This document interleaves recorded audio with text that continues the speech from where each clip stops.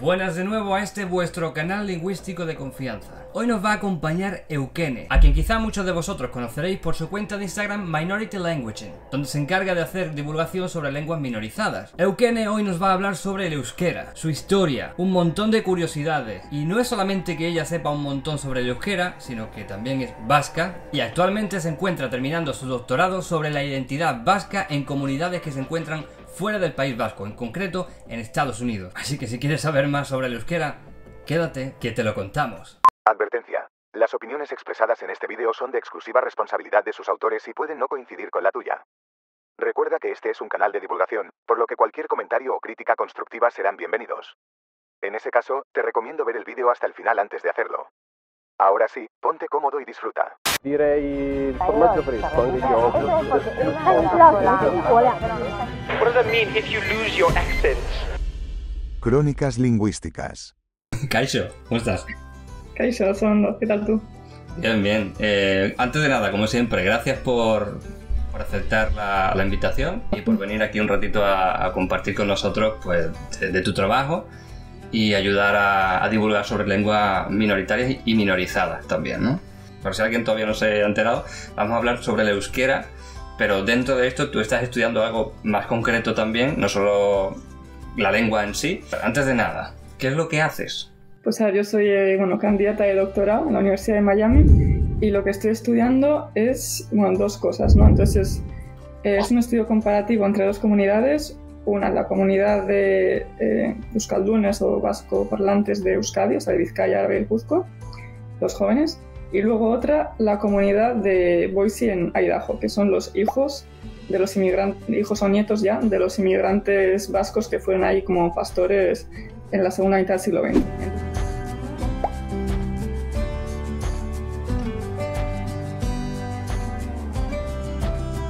Entonces analizo dos cosas. Una es la variación lingüística, cómo cambia el euskera eh, tanto dentro de la comunidad, pues dependiendo si hablan con sus padres, con los abuelos, si están en la comunidad pues de danzas vascas, por ejemplo, o si es una persona igual más aislada que, que no lo habla con nadie, que lo habla solo en la familia y luego sale de casa y desaparece. Lo mismo en el, en el caso de Euskadi y luego una comparación entre los dos colectivos. Eso es una cosa de análisis. La segunda es, es el tema identitario.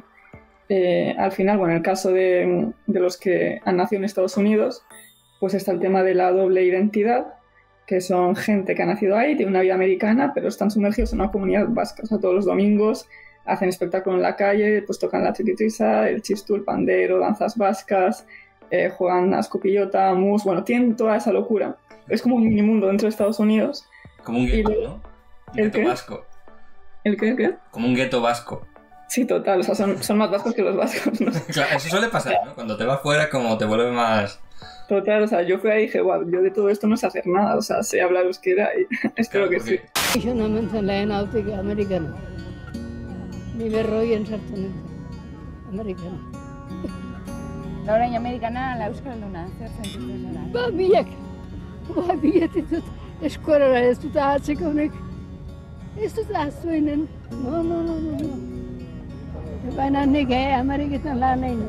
Tú no eres nativa, o sea, eres vasca, naciste en el País Vasco, pero no eres. cu- ¿Cuál es el término? ¿Euskaldun? No, Euskaldun. es- Euskaldunsar. Claro, entonces, Euskaldunsar. Euskaldunsar, vale. Eso, te lo explico en un minuto porque eso es esa, la- lo mismo, que ahí tienen como una doble identidad.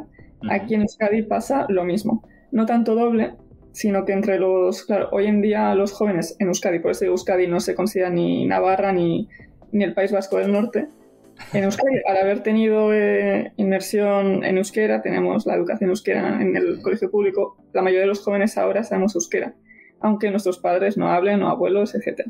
Entonces por ahí hay temas identitarios, por eso mismo de ese tema también un poco más detalladamente. Sí. Entonces hay mucha gente como yo, eh, que somos, eh, aunque seamos vascos, y en mi caso descendiente de vasco parlantes, no soy descendiente directa porque la transmisión se corta hace generaciones, Claro. y de repente el euskera se recupera en la familia, pero claro, nosotros tenemos una identidad un poco diferente porque no somos nativos de la manera estrictamente nativos. Yo siempre creo que soy nativa y hasta que me he encontrado con otra gente y me he dado cuenta que para ellos no lo sé. Digo, Bueno, pues no lo seré.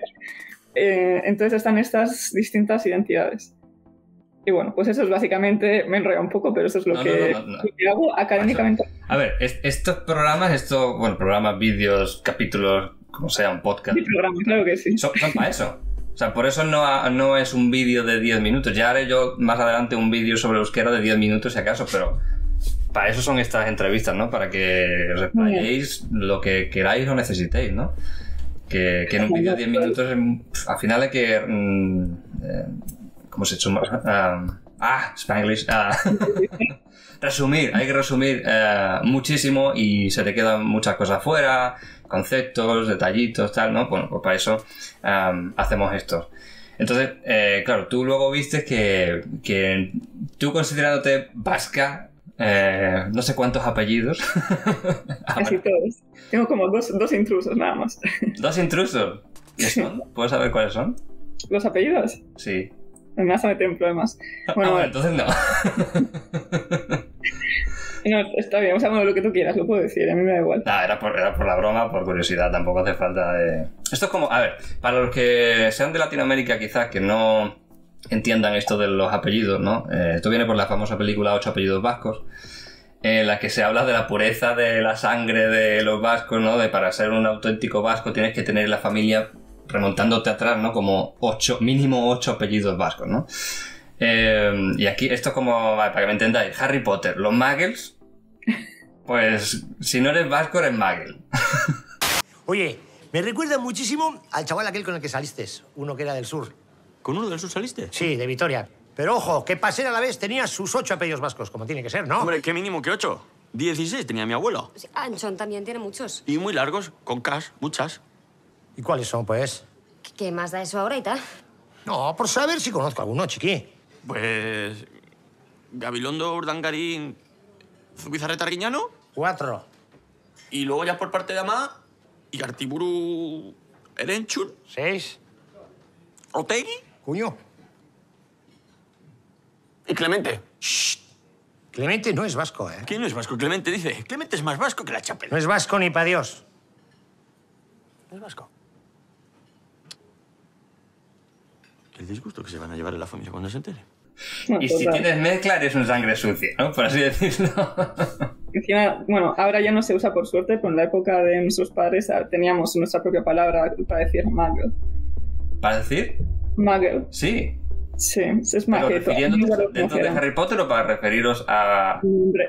Versión eh, País Vasco. Ah, pues vale, vale, o sea, para gente que... fuera. Vale, vale, o sea, vale. ¿Y, y qué ¿Te palabra? imaginas? Eh, maqueto, Maqueto. Creo que la he oído alguna vez. sí, seguramente. Pero me suena que no ten... cuando la he oído yo, no sé, igual me equivoco, ¿eh? Eh, No, no recuerdo ni una connotación negativa, por así decirlo. Bueno, es que ya no está, ya no está en uso, igual hasta se ha como resignificado, ¿no? Pero Mm, en los años 50, 60 que había mucha inmigración española, mogollón, pues gallega también, Sí. de Palencia y todo eso, eh, pues eran, se les llamaba así.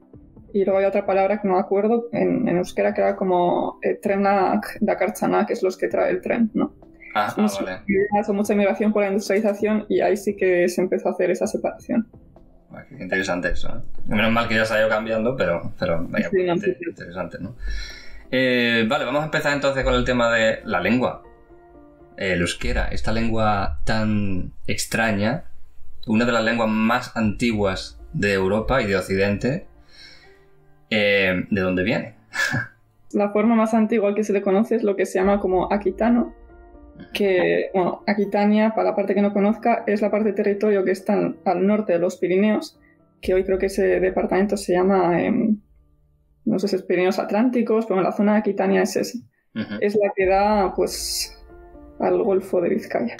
ujú. Sí, un poco la zona que divide España y Francia, por así decirlo. Eso es, donde está, eh, pues, Bayona, eh, no sé, ¿qué más está? Biarritz, eh, Galassi. No me sé estos nombres en francés, lo siento. Pero bueno, Maule, esa zona, ¿no? Y, y entonces, bueno, esa es la forma más antigua que se conoce, Ajá. que se ha encontrado pues en piedras, normalmente son como tumbas de la época de los romanos. Entonces, ya se sabe que los romanos les enseñaron en esta tradición pues de cuando se muere alguien de decir tal, hijo de no sé quién o hijo segundo, pues eso, descendiente de tal tal. Entonces, que son como, no sé si empiezan en el siglo II después de Cristo, entonces ahí están los nombres en euskera con las declinaciones en latín. Por eso se sabe que, bueno, y aparte que el alfabeto es latino, entonces viene de la romanización. Entonces es lo más antiguo que se conoce. A eso se llama aquitano, pues por la zona y tal. Y luego los siguientes pues han ido apareciendo en lo que hoy en día sería el País Vasco. El País Vasco entendido... Claro, como otro concepto, otro concepto que hay que aclarar. Una cosa es País Vasco, otra cosa es Euskal Herria, Euskadi. Exacto. Sí, el País Vasco... vamos a, a desglosar un poco, ¿no? Que, que aquí llamaríamos, para los que no saben, ya sea de fuera de España, incluso gente de España que aún a día de hoy todavía con- confunde conceptos, ¿no? País Sí, Vasco. Eso. A ver, claro, es que según el País Vasco, el, problema confuso es que el nombre de la comunidad autónoma eh, será llamado País Vasco. Eso en España, quiero decir. Pero para oficialmente, nosotros, oficialmente para el gobierno español eso. es País Vasco, la comunidad autónoma. Igual que aprender geografía en un colegio de España, va a pensar que el País Vasco son pues, Vizcaya, Áraba y Guipúzcoa. Claro. Porque es el nombre de la comunidad autónoma. O Euskadi en euskera. Pero para nosotros, cuando decimos Euskal Herria, que se traduce como País Vasco, es el pueblo del euskera. Entonces, cuando decimos Euskal Herria, no nos estamos limitando al País Vasco, sino que son a las siete provincias históricas, que son esas tres, Navarra, Navarra, y luego las tres del País Vasco del Norte o País Vasco francés, sí. que serían eh, eso, la Purdi, la Baja Navarra y Suberoa o la Sur en francés, ¿no? Entonces, cuando nosotros decimos País Vasco, muchas veces nos referimos a todo el territorio, no estamos hablando de Euskadi. Ya, claro. Entonces, bueno, Parte- parte de Francia incluso. claro, todo, porque es donde se habla euskera. Y el euskera, claro, porque yo tengo entendido que el euskera realmente donde, o de donde se origina, o donde antes se encuentran también registros, aparte de la zona que mencionaste tú, eh, también hay en, en Navarra. Claro, sí, sí. Y son de, de Digo, la misma. Hay una, una corriente navarra que consideran que ellos son los vascos originales, ¿no? O sea, que los primeros, la, la cultura, la, la- bueno, por si ¿no? la cultura vasca, la- el pueblo vasco, surgió en Navarra y de ahí se extendió a tanto parte de Francia como a lo que para España es el País Vasco, ¿no? Las tres provincias de Guipúzcoa, eh, Vizcaya y Álava, ¿no? Claro, eso, o sea, no sé si es una hipótesis más, lo de la vasconización tardía. eh, claro, de Navarra al resto, yo no sé, porque claro, en el norte también Para el es. mundo. Sí. Entonces yo no sé cuál ha sido la dirección, si del norte hacia Navarra o de Navarra hacia el norte, ¿no? Em, pero, pero claro, sí que como Navarra tuvo el reino de Navarra, ahí el euskera durante una breve época estuvo relativamente institucionalizado. Se deshace ya pues en 1500 y algo, con, pues, cuando España se une, digamos, bajo el reino de En Reino de Aragón, Reino de Castilla, Reyes Católicos, ¿no? Entonces, eh, sí que en, en los primeros textos de esa época se refería como lengua de Navarrorum, o sea, la lengua de Navarra. Y cuando se ve eso, eso es el euskera, o sea, que no hay duda. Ujú. Entonces, pues lengua de Navarra eh, o euskera o, o lo que sea, estamos hablando de la misma lengua. Eh, por eso también está un poco el conflicto de si Navarra es País Vasco. No hay muchos navarros que no se sienten vascos, mientras que otros sí. Por lo general depende de si hablan euskera, por esto que te digo, porque en Euskal Herria es el pueblo del euskera. Y no tiene que ver con ningún nacionalismo, porque para nosotros es donde se hable euskera. Es una nación etnolingüística y cultural. Y luego ya, pues Claro. cada uno... Lo otro es algo que ya ha venido después, como suele ocurrir, que siempre los lingüistas nos, nos solemos quejar de eh, cuando se mete la política por en medio. Para, en lugar de unir gente, eh, dividir, separar y, y en algunos casos, pues pelear. Mm, Y, Sí, y bueno, y, bueno, ya tenemos la. Alguno habrá ahora mismo ya diciendo, "No, el euskera es español también, ¿no? Tengo un comentario, de hecho, tengo un comentario hace poco que, que compartí. Así, Sí, diciendo. Bueno, lo no sé cuándo saldrá esto todavía, a partir de después del verano y tal. Pero compartí. un- eh, Tiene que estar todavía en Stories por ahí. Alguien que, que decía. Eh, eh, ja, ja, ja, eh, el gallego, el euskera, el catalán. Y no sé si mencionó alguno más. eh, y el aragonés, creo. Son español. Como, Ya no sé. Te puedo, te puedo llegar a entender que me digas eso del catalán, del gallego, por, por- por cómo suena, ¿no? Por la similitud. Pero ¿dónde ves tú el euskera? Quiero decir. ¿Dónde? Claro, con el euskera nos ha faltado decir que al final me has hecho el origen y no he terminado de dar la introducción, pero para quien no lo conozca. perdón, sí. No, no, tranqui, yo sola me he ido solapando una cosa Ah. con otra, pero es una lengua. Recapitulamos. Eso lo cortaré. Recapitulamos. Vale, volvemos para atrás. Entonces, el euskera es una lengua no indoeuropea o preindoeuropea. Eso quiere decir que no viene de esta lengua común que decías tú, el protoindoeuropeo, donde vienen las lenguas germánicas como el inglés, el alemán, holandés, etcétera. Tampoco es una lengua romance. Aunque haya convivido con estas, no lo es. Entonces, por eso el misterio de, de dónde viene, porque no tiene ninguna otra lengua que se le asemeje. Entonces, su forma más antigua es el aquitano que mencionaba, pero realmente es la misma lengua. Uno, uno viene del otro, ¿no? Sí. Entonces, esa, ese es un poco de los misterios y la belleza de, este idioma, ¿no? Entonces, ha habido muchos intentos de, asociarlo con otras familias lingüísticas, pero bueno, con otros idiomas más bien, como con el, eh, georgiano o con el tamasí, pero se han demostrado que, que no. O sea, de todas maneras, de la manera en la que se intentaba hacer la asociación genética era, había comparación, protocronología, comparando vocabularios, hay una, una- unas técnicas que no, que no daban para más. Sí. Entonces eso, que se sepa, no, no hay ningún otro, ninguna otra lengua que se conozca que esté genéticamente relacionada con el euskera. Entonces eso es, la belleza es también pues cómo ha sobrevivido, más que de dónde viene, siempre se dice qué guay que haya sobrevivido, porque sus coetáneos como el ibero, celtíbero, eh, no sé qué más hablaba por ahí, pero vamos, que esas lenguas son con las que convivieron, esas comunidades Desaparecieron. La desaparición con los romanos. Entonces, como en el caso de los celtas, eh, migraron para el norte, pero el celtíbero como tal no, no se ha desaparecido. Que bueno, de hecho, eh, una de las curiosidades que a mí más me, me gustan sobre el euskera, eh, precisamente relacionado con, con el parentesco, ¿no? Nadie sabe de dónde viene a día de hoy, eh, y entonces los lingüistas están como locos por a ver quién es el primero que descubre de dónde viene. Y ha habido muchos estudios, como, como tú mencionas, eh, y se descubrió, por ejemplo, que había similitudes, o sea, había características que compartían con otras lenguas, ¿no? Eso sí que es cierto. Claro. Eh, es como si decimos, bueno, pues de estas dos lenguas el plural se hace con una S, pero bueno, eso no quiere decir que las lenguas sean hermanas, ¿no? Habrá otras 500.000 características que no comparten. Entonces, claro, van tirando de ahí. Y, por ejemplo, se descubrió que tiene características eh, en algunos aspectos, ¿no? Simil- similares al, al japonés, por ejemplo.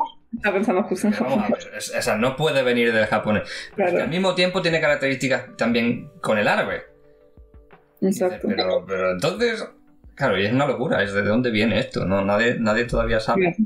Que al final son parámetros lingüísticos, va a tener cosas en común con muchas lenguas, porque tiende a repetirse las cosas del mundo, ¿no? Pero Claro. del mundo.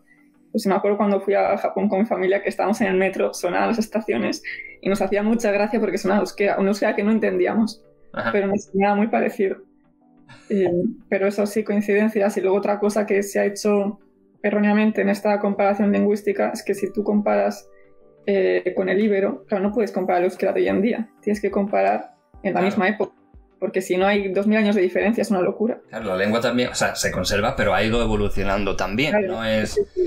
Igual que en castellano no se habla igual ahora que cuando andaban por ahí los reyes católicos, ¿no? Es como, no, o sea, no me imagino a Isabel diciéndole a Fernando, oye, vamos a América, y el otro, me renta.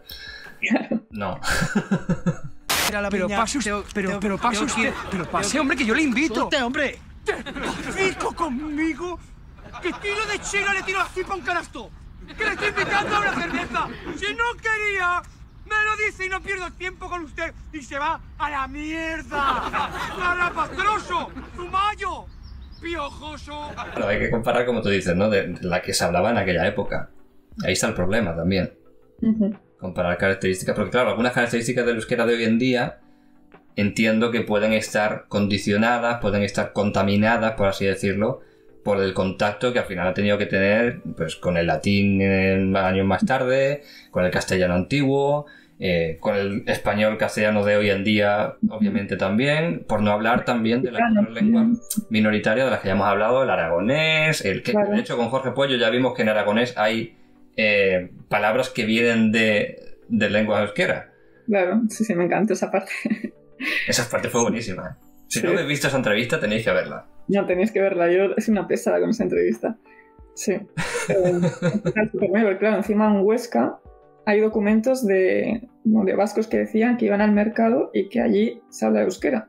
Entonces, eso se sabe que históricamente fue territorio vasco parlante. Claro, igual no perteneció al reino de Navarra, pero al final, bueno, pues las lenguas son así, las lenguas no entienden de límites políticos. o sea, Claro. No es pongo aquí una valla y de ahí no pasa, es... Claro. Es increíble esto, a mí me encanta cuando comparamos una y otra y luego al final cosas que por política, como decíamos antes, quieren separar y es como, no, no. O sea, aquí una lengua, aquí otra y en medio hay, un, hay una tercera Claro. lengua o dialecto según se mire, eh, que es una pequeña mezcla de, entre, entre las dos, ¿no? Hablando del, del origen de, de la lengua, quería comentar una noticia, seguramente sabes de lo que te hablo, una noticia que se hizo viral sobre el origen de la lengua. Eh, tengo apuntado porque no me acuerdo el nombre. La mano de Irulegui o Irulegui. No sé Irulegui. Irulegui. La mano de Irulegui, una mano de bronce que se encontró en Navarra, ¿puede ser? O... Eso es, en el valle de Aranguren, Correcto. como 10 kilómetros de la capital, Iruña, Pamplona. Y que decían que había una inscripción en euskera y que demostraba, ¿no? Creo que era, de- demostraba el origen del euskera o algo así, no sé, como que así, muchos sí. cohetes ya como... Antes hablábamos de que están los lingüistas dándose tortas a ver quién descubre primero el origen y claro, esta noticia fue un poco eso, fue un poco de, ¡eh! Lo hemos encontrado, hemos encontrado esto que tiene que ver... Bueno, ¿qué pasó al final con eso? A ver, pongo así, pongo un poco de contexto. Porque hubo, eh, spoiler, hubo un eh, plot twist. Sí, más que plot twist, lo que pasa con estos descubrimientos, se vinieron muy arriba y hablaron de más. Y nos lo creímos unos cuantos. Un- e Incluidos nosotros dos también. Incluidos nosotros, claro, claro. Que yo recuerdo que hablaba contigo, eh, no sé si me enviaste tú o te envié yo a ti y te pregunté. No sé, es que ese día que fue el 14 de noviembre o 15 de noviembre, y yo me despierto, claro, yo estaba eh, en Estados Unidos. Sí, Entonces había pasado aquí ya media vida. ya. Y me despierto y todo lo rata, rata, montón de gente mandándome eso, y, pero ¿qué ha pasado? Bueno, esta es la historia. ¿Qué decía la noticia y qué pasó? Vale, bueno, había muchas noticias, pero básicamente el titular que se repetía era algo así como encuentran eh, las palabras más antiguas del euskera están encontradas que podría ser clave para el descubrimiento de su origen. Un clickbait máximo. Titular de la hostia. Un titular, pero ¿qué dices? Que te quedas ahí, ¿y eso qué? Entonces, claro, em, lo bonito que tiene el euskera es que muchas veces aparecen textos que son más antiguos, que más antiguo, entonces nos emocionamos mucho, son como tesoros. Y para la comunidad vasca, obviamente, es una alegría, especialmente cuando es el primer texto que aparece en una zona geográfica, ¿no? Porque así es como ya hay registro de esa variedad, o igual sitios donde había dudas si se hablaba, de repente aparece. Entonces, bueno, vamos a dejar eso que obviamente se recibe con mucha ilusión al ser un idioma, eh, bueno, pues tan misterioso o con poco registro y tal. Vale. Entonces, la historia fue, eh, había un grupo haciendo pues, un estudio arqueológico en el Valle de Aranguren. Entonces, están eh, en- encontrando, como se dice, están haciendo una excavación en un poblado que está justo abajo de la colina de un castillo de la edad de, Entonces, de bronce, sí. corona de bronce imagino que... Sí. Es del, del primer siglo antes de Cristo. Ah, Entonces, ya se sabe que ahí vivían vascones, pero no se tiene registro de la lengua aquitana hasta como el segundo siglo después de Cristo, así que es ya cuando salen las lápidas estas que hemos mencionado, con el nombre en euskera y la declinación en latín, ¿no? Esas son las primeras palabras como tal en euskera que se conocen. Entonces, claro, esto lo adelantaría ya unos siglos, ¿vale? Entonces están haciendo excavaciones, que están viendo excavaciones para ver cómo vivían en esa época. Entonces es un poblado que se ha mantenido relativamente bien porque fue durante una de estas guerras civiles entre romanos para ver quién era el gobernador. Hubo un incendio y tuvieron que evacuar. Entonces se quedó así, tal cual. Entonces en esa excavación, no sé si era un poblado, una casita, y de repente ven esta placa de bronce y ya de unos meses descubrieron que tiene este texto. Vale. Entonces, ¿cuál es la historia? Cuando vieron que tenía texto, eh, llamaron a un experto en epigrafía, que son los que pues eso, analizan las escrituras de distintos tipos, materiales y todo eso, que es Velaza, de una universidad de Cataluña. Eh, y cuando vieron que podía ser eh, euskera, pues llamaron a Joaquín Gorrochategui, que es de la Universidad del País Vasco, que él es eh, catedrático en, creo que es eh, en lingüística europea, paleoindoeuropea, bueno, eh, él también ha escrito sobre las lápidas estas en aquitano. Ah, vale. Entonces, esta es la situación. Está en, en alfabeto íbero. Es, aquí es cuando se pone tricky, porque ya a principios del siglo XX se pudo descifrar cómo leerlo. Pero claro, no sabemos qué significa. Entonces, muchas veces cuando se ha encontrado texto en íbero, o sea, ya pues, saber cómo se lee ya fue un descubrimiento impresionante. pero ser una lengua que se murió pues, cuando vinieron los romanos, es en el primer siglo después de Cristo, una cosa así, o sea, hace una barbaridad de tiempo. Claro, ¿con qué lo comparamos? ¿Cómo sabemos lo que quiere decir? Entonces hay como pequeñas palabras que se han quedado la toponimia, que saben lo que quiere decir y que es ibero, pero es algo muy... Sí, sí, sí. muy. Entonces, esta es la situación. Eran, creo que son como tres líneas en el alfabeto íbero. No se sabe lo que es, pero es en territorio de vascones. Hasta ese momento, las lápidas mencionadas están con alfabeto latino. Les habían es- enseñado a los romanos a escribir. Entonces, claro, ¿cuál fue también otra de las super noticias? Eh, no solo es la palabra más antigua de buscar encontrar, sino que encima los vascones ya sabían escribir de antes y con el, el alfabeto íbero. Técnicamente no es una locura. De café. No es una locura porque eran vecinos, ¿eh? o sea, ahí vivían los celtíberos, Ajá. en la zona de Huesca, Aragón y todo eso, ¿no? Y luego los íberos, pues en la zona de Cataluña y para abajo, vale. Y ya se habían encontrado unas monedas que ponían vascunes o vascones, pero claro, solo no tiene por qué haberlo escrito los vascones, pueden ser una moneda que les representara o cualquiera sabe qué, ¿no? Entonces, bueno, no era una locura, pero tampoco estaba ahí súper certificado. Entonces, ¿cuál es la historia? La primera palabra, que sabemos que se lee como sorioneku, con el euskera actual, recordemos actual y no de hace 2000 años, se, se entiende o se parece a sorioneco, de buena fortuna.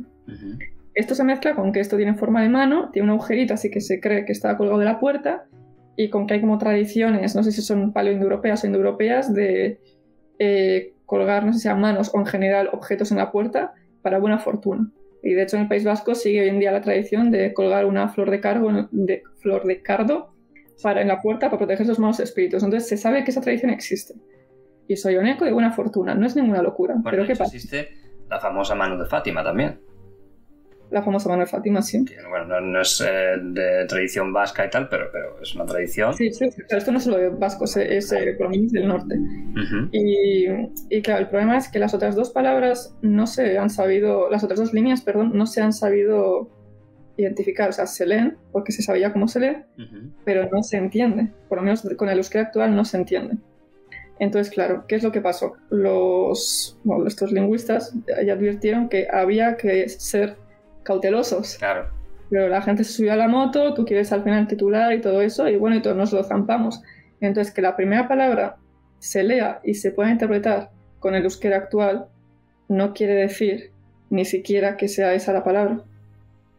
Como pasa, pues eso, la gente que intentó, la gente, los lingüistas que intentaron comparar eh, durante el siglo XX el euskera con el íbero, cometían ese mismo error, que comparaban el de hace 2000 años con el actual cuando el euskera hace 2000 años pues era muy diferente, eso ya se sabe, pues eso, ¿no? Por la lingüística histórica. Entonces, eh, el problema puede ser, son dos lenguas que parece que fonológicamente se parecerían a la manera de leerlo, pero no está garantizado que sea euskera. Entonces, igual sí, igual no. Ellos pidieron cautela y no se tuvo. Ya, pero aquí la, gente, ¿qué hizo? Yo lo publico así, si resulta que llevo razón, Claro, toma, exacto. pues yo me lo llevo. Exacto, y al punto que eso se sacó, lo descubrieron en junio del 21, se sacó en noviembre del 22, ahí fue lo de la noticia loca, y eh, hasta hoy en día están ahí, lo están viendo porque no quieren decir algo y que luego no sea. Que Sí, lo último que leí yo creo que fue que era tenía más pinta de ser ibero que... Claro, pero son especulaciones porque es Claro. lo mismo, no... Bueno, no sé, no, no se conoce, ¿no? Pero bueno, o sea, vamos, que si no se puede descifrar con el euskera, pues lo otro es que sea la cia- que, que podía ser aquitano antiguo, que por eso podría ser el origen del euskera, porque y que el euskera venía del aquitano y que, bueno, mil cosas más hay que Claro. ya como hilar. Exacto, es que, bueno, hay muchas hipótesis, ¿no? Pero sí que nos lo comimos con patatas. Entonces, ninguna de las dos hipótesis es una locura porque eso se sabe que los vascones vivían ahí y de hecho las otras, las eh, siguientes piedras que se encontraron ya con grafía latina son de relativamente cerca. Hay una que es de Lerga, que está más o menos, más o menos cerca de Aranguren. Entonces, pero claro, son de tres, tres siglos por lo menos más tarde, ¿no? Ya de la época de los romanos. Entonces, bueno, está ahí la cosa. Se sabe que es territorio vascón, pero ya garantizar que sea euskera solo por el territorio y solo por la primera frase, pues bueno. Así que ahí andan. Imagínate que es alguien que pasaba por allí. Sí, exactamente. Ni de allí. Un regalo, que trae un regalo a mi pueblo y la que ha montado. El típico de estuve en, eh, no sé, estuve en Albacete y me acordé de ti. Exacto, ¿no? sí. El típico recuerdo este que se compra la Y me ha- me ha- quería que lo tuvieras. Y se, se quedó allí, claro, y dijo, ah, pues mira. Es guapísimo, los del pueblo van a tener una envidia aquí que lo puedo. Sería buenísimo. Descubrir luego fue todo pues, un regalo de, de recuerdo de alguien que fue a visitar. Características que tiene el euskera y que quizás no tienen eh, el resto de lenguas, o por lo menos por lo- no tiene el inglés, no tiene el español, cosas que llamen la, la atención, ¿no? Por ejemplo, yo voy a mencionar una que me parece súper rara en una lengua en, en- en- en España, ¿no? Existen casos. Declinaciones, como, como en el latín. Exacto. Cosa que el catalán no tiene, el gallego no tiene, el aranés no, creo que tampoco tiene, no estoy seguro. Aragonés tampoco, eh, asturiano tampoco, o sea, ninguna otra lengua en España tiene casos. O sea, más que casos son declinaciones, ¿no? Casos, de todas las lenguas tienen casos, ¿no? Bueno, sí. Son mar- marcas de caso igual. Exactamente. Claro, como el alemán, igual la gente tiene más fresco que el latín. sí, eso es una de las cosas. eh, bueno, lo bueno que tiene en comparación con el latín o con el alemán es que es solo una declinación. No tienes, eh, como tiene, yo no sé, primera, segunda, tercera o femenino, masculino, neutro. Una locura. Por suerte, es solo una, te la Pero aprendes. Tiene, claro, aparte, dentro de esa declinación, uno de los casos que tiene, me explicarás tú qué es. A ver, antes de nada, por si alguien nos ve y dice, ¿qué carajo estáis hablando de...? Espero que no me borren el vídeo por lo de carajo. Eh, ¿Qué es eso de declinación? ¿Qué es eso de caso? Bueno, pues una pequeña, igual que en, en español decimos yo estoy en casa de fulanito o yo te doy esto a ti, el complemento de lugar, complemento indirecto, complemento directo o lo que sea, eh, para lo cual utilizamos preposiciones, ¿no? Normalmente. En latín, pues se le añade a la palabra, por ejemplo, tú, pues sería, en vez de tú acabado en u, pues eh, lo que en español tenemos que es un residuo, ti, ¿no? A ti. Eh, eso sería para indicar el complemento indirecto. Entonces hay que aprenderse una, las palabras, a qué declinación pertenecen, y depende de si quieres decir a ti, tú, eh, en ti, eh, hacia ti, o etcétera, etcétera, pues una terminación diferente. Entonces esto se encuentra en el euskera también. De forma más reducida, gracias a Dios. Porque si no, ostras. Ya de por sí el euskera es muy difícil de aprender. Eh, No, eso es un mito, eso es un mito que hay que derribar. ¿Cómo? Eso es un mito que hay que derribar. No, eso no es un mito que yo lo he comprobado. eso lo he comprobado yo de primera mano. Eh, todo depende también de la- del esfuerzo, las ganas que le ponga, obviamente. Entonces, uno de esos casos se llama ergativo. ¿Eso qué? O sea, puedo entender complemento directo, complemento indirecto, vocativo, que es cuando llamas a alguien. Complemento de lugar, para, para nombrar un lugar. De tiempo, obviamente, pues para nombrar tiempo. Pero ergativo, ¿eso qué es? Aquí me había falta una pizarra, pero lo voy a intentar hacer simple.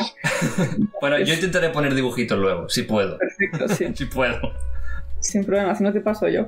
Vale. Eh, entonces, nosotros estamos acostumbrados a lenguas que se llaman nominativo acusativo. Su sistema de caso es nominativo acusativo. El castellano y el inglés. Vamos a quedarnos con esas que creo que dominamos. Sí, para no abrir Eso, demasiado muy, espectro. muy lejos. Entonces, en este tipo de lenguas, para distinguir el sujeto del objeto, se marca el objeto. ¿Esto qué quiere decir? Va a decir, eh, yo te he visto, yo soy el sujeto, tú eres el objeto, entonces se dice yo te he visto, no decimos yo tú he visto. Entonces ese es un pronombre acusativo en este caso, ¿no? Pues un nominativo es yo, no lleva marca, marca cero, y el objeto es acusativo, se convierte de tú a te. En inglés pasa lo mismo. Si queremos decir, por ejemplo, I saw him, no podemos decir I saw he, porque es gramatical. O sea, que el sujeto, el pronombre sujeto no cambia. No Estamos cambia. acostumbrados. En el español, es. en, en- en inglés, el sujeto no cambia, cambia lo que venga después, el objeto. Porque puede ser objeto indirecto, objeto directo, puede ser mil cosas. Entonces, eso es lo que cambia, ¿vale? Eso es. Si no, pues el resultado es agramatical, que básicamente es que si tú eres nativo o dominas la lengua, no te suena correcto. Te suena que algo no encaja del todo. Vale. Entonces, la mayoría de las lenguas pertenecen a este sistema de casos, nominativo ergativo, que el latín era así, etc. Hay otro grupo de lenguas que usan el, el sistema ergativo absolutivo, que como el euskera, o el maya, o el hindi, esto se me ocurren ahora, ¿vale? ¿Eso qué quiere decir? No usamos esta misma estrategia para diferenciar el sujeto del objeto. Entonces, por ejemplo, aquí prepárense, agárrate la silla. Espera, a ver. Abrochémonos los cinturones. Todo el mundo listo. Una vez que se entiende es fácil, ¿eh? pero Bueno, eso eh, como es un vídeo, esto se puede dar para atrás las veces que haga falta. Exacto, perfecto. Eso de salir de la caja de cómo vemos el mundo. Entonces, cuando solo hay un argumento, que siempre va a ser el sujeto, por ejemplo, es yo voy a la playa, ¿no? No marcamos yo voy a la playa. Euskera, ni ondartzara joan naiz. Vamos a quedarnos con ni, que es yo. Vale. Ni. No tiene ningún tipo de marca. N-I, yo. En cambio, si yo quiero decir yo te he visto, eh, tú es su, ¿no? Entonces tiene que convertir en nik, su y kusisaitut. ¿Qué quiere decir esto? Que cuando hay dos argumentos, en vez de marcar el objeto, marcamos el sujeto. Entonces, hay dos maneras de hacerlo. Cuando hay solo un argumento, que va a ser el sujeto, no hay marca, como en castellano en inglés. La marca es cero, no cambia. Pero cuando hay dos argumentos que sean sujeto y objeto directo en este caso, el objeto directo no tiene ninguna marca y lo que se marca es el sujeto.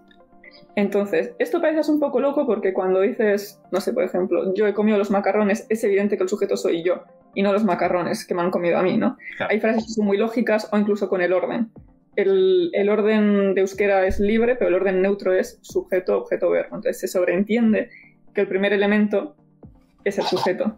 De todas maneras, eh, cuando tanto el sujeto como el objeto son la tercera persona, ahí es cuando es un poco más crucial diferenciar. Se tiene que diferenciar siempre, pero en los otros casos tenemos como excusa. Entonces, por ejemplo, si yo digo, eh, vamos a poner como nombres propios, em, por ejemplo, Eukenek, Rick y Kusidu. Eukene la ha visto a Rick, ¿no? Bueno, ha visto a Rick en estándar. En- y en cambio, si fuera al revés, Rick. Un segundo, un segundo. Sí, Perdón, porque claro, para el negativo, la terminación que se utiliza es una K. claro, K, y si acaba en consonante la palabra, le tienes que meter una E. Mi duda es, A ver, con Rick, ¿cómo lo haces? Rickek. Ah, Claro. En euskera casi siempre la epéntesis es la E. Vale. Cuando termina una cuando termina por consonante la palabra, como no tenemos mucho apelotamiento de consonantes, es una lengua que en general va vocal consonante, vocal consonante. eh, bueno, pues eso, metes la E. Entonces sea Eukenek, Rik y Kusidu. Rikek, Eukene y Kusidu. Vale. Entonces la K marca quién ha visto a quién. Ahora, si yo quiero hacer una énfasis, puedo decir, por ejemplo, Rick, Eukene y Kusidu. Como a Rick, no, la, Eukene la ha visto a Rick. Entonces, es, bueno, es posible, no tiene por qué ser la énfasis, pero básicamente cuando hay tercera persona, para evitar confusiones, claro. pues eso, es, es- esto también esquema mucho más, porque nuestros verbos auxiliares eh, no solo conjugan el sujeto, también conjugan el objeto. Entonces, pues es un problema. Uf. Porque ya si el sujeto es tercera persona y el objeto es tercera persona, no se distingue cuando uno lo ha visto al otro. En cambio, con el resto... En, en castellano ocurre, para que la gente no se pierda un poco y pueda ir comparando, también ocurre con tercera persona en castellano. Es cuando más problemas suele haber también, porque si no nombras la persona, si no especificas, al final el verbo se conjuga igual. Si yo digo, eh, le dijo que viniera, ¿quién? Claro, o sea, O sea, que no sepas de quién estás, estás hablando, es- se pierde en el discurso, ¿no? tienes que marcar, decir quién a quién, ¿no? Eh, y bueno, y, y creo también, también para eh, que sea un poco más fácil entender el, el concepto que, del que hablabas de que se mm, conjuga, ¿no? O se conjuga el, el sujeto, se marca el, el- el sujeto, sería el equivalente, en lugar de decir a, a yo, o sea, en- en español y en inglés siempre decimos yo, lo que sea, o sea, lo que venga detrás es lo que cambia. Euskera sería el equivalente a decir, por ejemplo, en el, el caso de la frase que dijiste de eh, Eukene, eh, Eukene, perdón, ha visto a Rick. Eh, pues en lugar de Eukene, eh, o en lugar de yo, es como decir yo a alguien, ¿no? Lugar- cambiamos el yo por yo a alguien, algo así sería. Sí, es la única, la única diferencia, dicho muy simple, es que marcamos el sujeto en vez del objeto. Es la estrategia contraria que hacen las lenguas a las que estamos acostumbrados. Pero ya está, una vez que lo aprendes, ya está, ya lo he superado. Es solo salir de la caja y. Pues te puedes creer que lo acabo de entender y hasta ahora no. No sé, otra cosa ya es usarlo, ¿no? Y tal, pero, pero siempre tenía duda con, con esto de cómo era negativo y muchas veces intentaron explicármelo y no quedaba del todo claro. O porque Ya. no lo explicaba mm, correctamente o, o bien, o porque yo en aquel momento, por lo que sea, pues no lo entendía. Es que hay gente para la cual es tan obvio, porque al final forma parte de tu gramática mental, lo dices sin darte cuenta, que claro que la explicación, o sea, yo porque estudio lingüística, porque este fenómeno que me interesa muchísimo, se juntan muchas cosas, pero hay para mucha gente que ha crecido con esto que dice, pues no lo sé, yo te sé decir que así está mal y así está bien. Es como la típica pregunta en, en español que, claro, gente habla español y se piensa que por hablar español sabe sobre español. No, no, una cosa es saber hablar, otra cosa es saber, la eh, saber sobre la lengua, ¿no? Es lo típico de que eh, agua que es femenino o masculino. Ya. Entonces, ¿por qué dices el agua, no? Si es femenino. Que obviamente hay una razón detrás, pero no la voy a explicar ahora. Es muy simple, que la buscáis vosotros. Eh, vale, genial. O sea, ¿qué otras características hay sobre el, el euskera que, que pueden ver. llamar eh, la atención? A mí se me ocurre, eh, por lo menos una más. Yo creo que hay bastante más. ¿eh? Hay, hay muchísimas y estoy pensando a ver qué selección hacer. Eh, bueno, hay una así como más facilita para no para un descanso a los cerebros, que es que tenemos tres sibilantes. Sibilantes, para quien no lo sepa, es eh, como si fuera la manera de pronunciar las S, ¿no? Ajá. Entonces, gráficamente, dicho muy simple, o sea, sibilante hace referencia a cómo se pronuncia, ¿no? Pero bueno, Sí. eh, gráficamente hablando tenemos la S, la X y la Z. Entonces van como de más palatal a más dental. Esto es de lugar de pronunciación. Entonces, por ejemplo, la X es como la SH del inglés Ajá. o la de Isha que te escuché el otro día, no sé si en la entrevista del aragonés, que sería sh, es lo más palatal que hay. Ajá. Entonces tenemos el sonido sha. Luego está la S, que es como los vascos hacemos la S, que es un poco más palatal eh, que la de los latinoamericanos, por ejemplo. Y luego está la Z, que se parece más a la S de Latinoamérica, que estaba aquí fuera, como, sa, como para decir zapata. Ajá. Más ahí. Entonces, eso es algo que a la gente, eh, cuando tiene que estudiarlo, por lo menos le llama la atención, porque no es algo. O sea, en general la pronunciación es bastante fácil, yo creo, no tiene así mucho reto más que esos tres fonemas. Luego, claro, que tienen su versión aplicativa, ¿no? Pues tenemos el cha, el cha y el cha. Ya, Así como curiosidad. Eh, Pero- habéis oído igual, las tres seguramente. Si habéis diferenciado los tres sonidos, enhorabuena, tenéis un oído genial. Pero claro, la mayoría de la gente les suena igual. Cha, cha y... No me acuerdo otro. Cha. O sea, por ejemplo, eh, el cha, que es como TX, a mí me recuerda, pues, eh, no sé, a como pues, los latinos dicen como mucho. Es como más ch. En cambio, yo digo mucho. No sé si se nota. Bueno, Va a ser complicado. no, no, da igual. Danok euskaldunek ginen, da euskara bizi ginen, gure lehengo hizkuntza euskara izan da, eta bueno, gainera gure aituek eta gure amamaka etzekiten e, gaztelerariz. Salir a pescar un bonito y luego preparar para la noche, ¿eh? Soy arranzale. Eso, y la otra cosa que caracteriza mucho es la R, que aunque eso también esté en el castellano, nuestra R tiende a ser especialmente ahí. rrr. Más fuerte, sí, sí. Sí. De hecho, por ejemplo, eh, claro, ocurre también como muchas otras variedades, ¿no? Que cuando ciertos rasgos que pueden ser eh, motivo de diferenciación, ¿no? O, para que me entendáis, de que la gente te señale por la calle. cuando salimos de nuestra comunidad autónoma, la gente tiende a neutralizar, porque hay, eh, tristemente, muchos prejuicios, ¿no?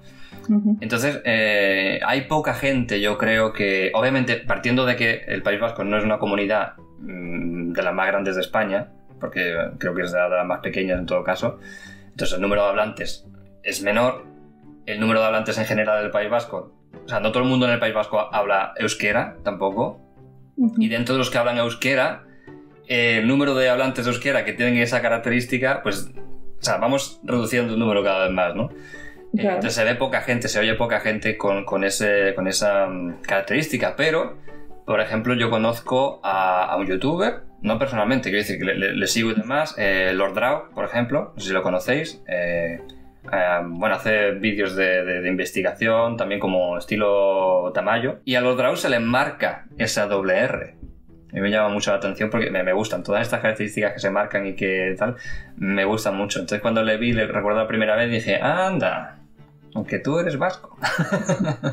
Cuando las cosas mejor iban a la empresa, Gucci o Gucci, el patriarca, falleció justo dos semanas después de que se abrió la tienda de Nueva York. A partir de ese momento comenzaron las luchas de poder y se dieron las primeras traiciones dentro de la familia. Una manera así como más fácil de detectarla, pero claro, por la estandarización del castellano que está en pérdida, tiene un nombre en fonología, pero nunca me acuerdo, que es cuando una palabra acaba en R y le sigue otra vocal. Sí. En general, el resto de los dialectos se diría, por ejemplo, por ahí o por ahí, ¿no?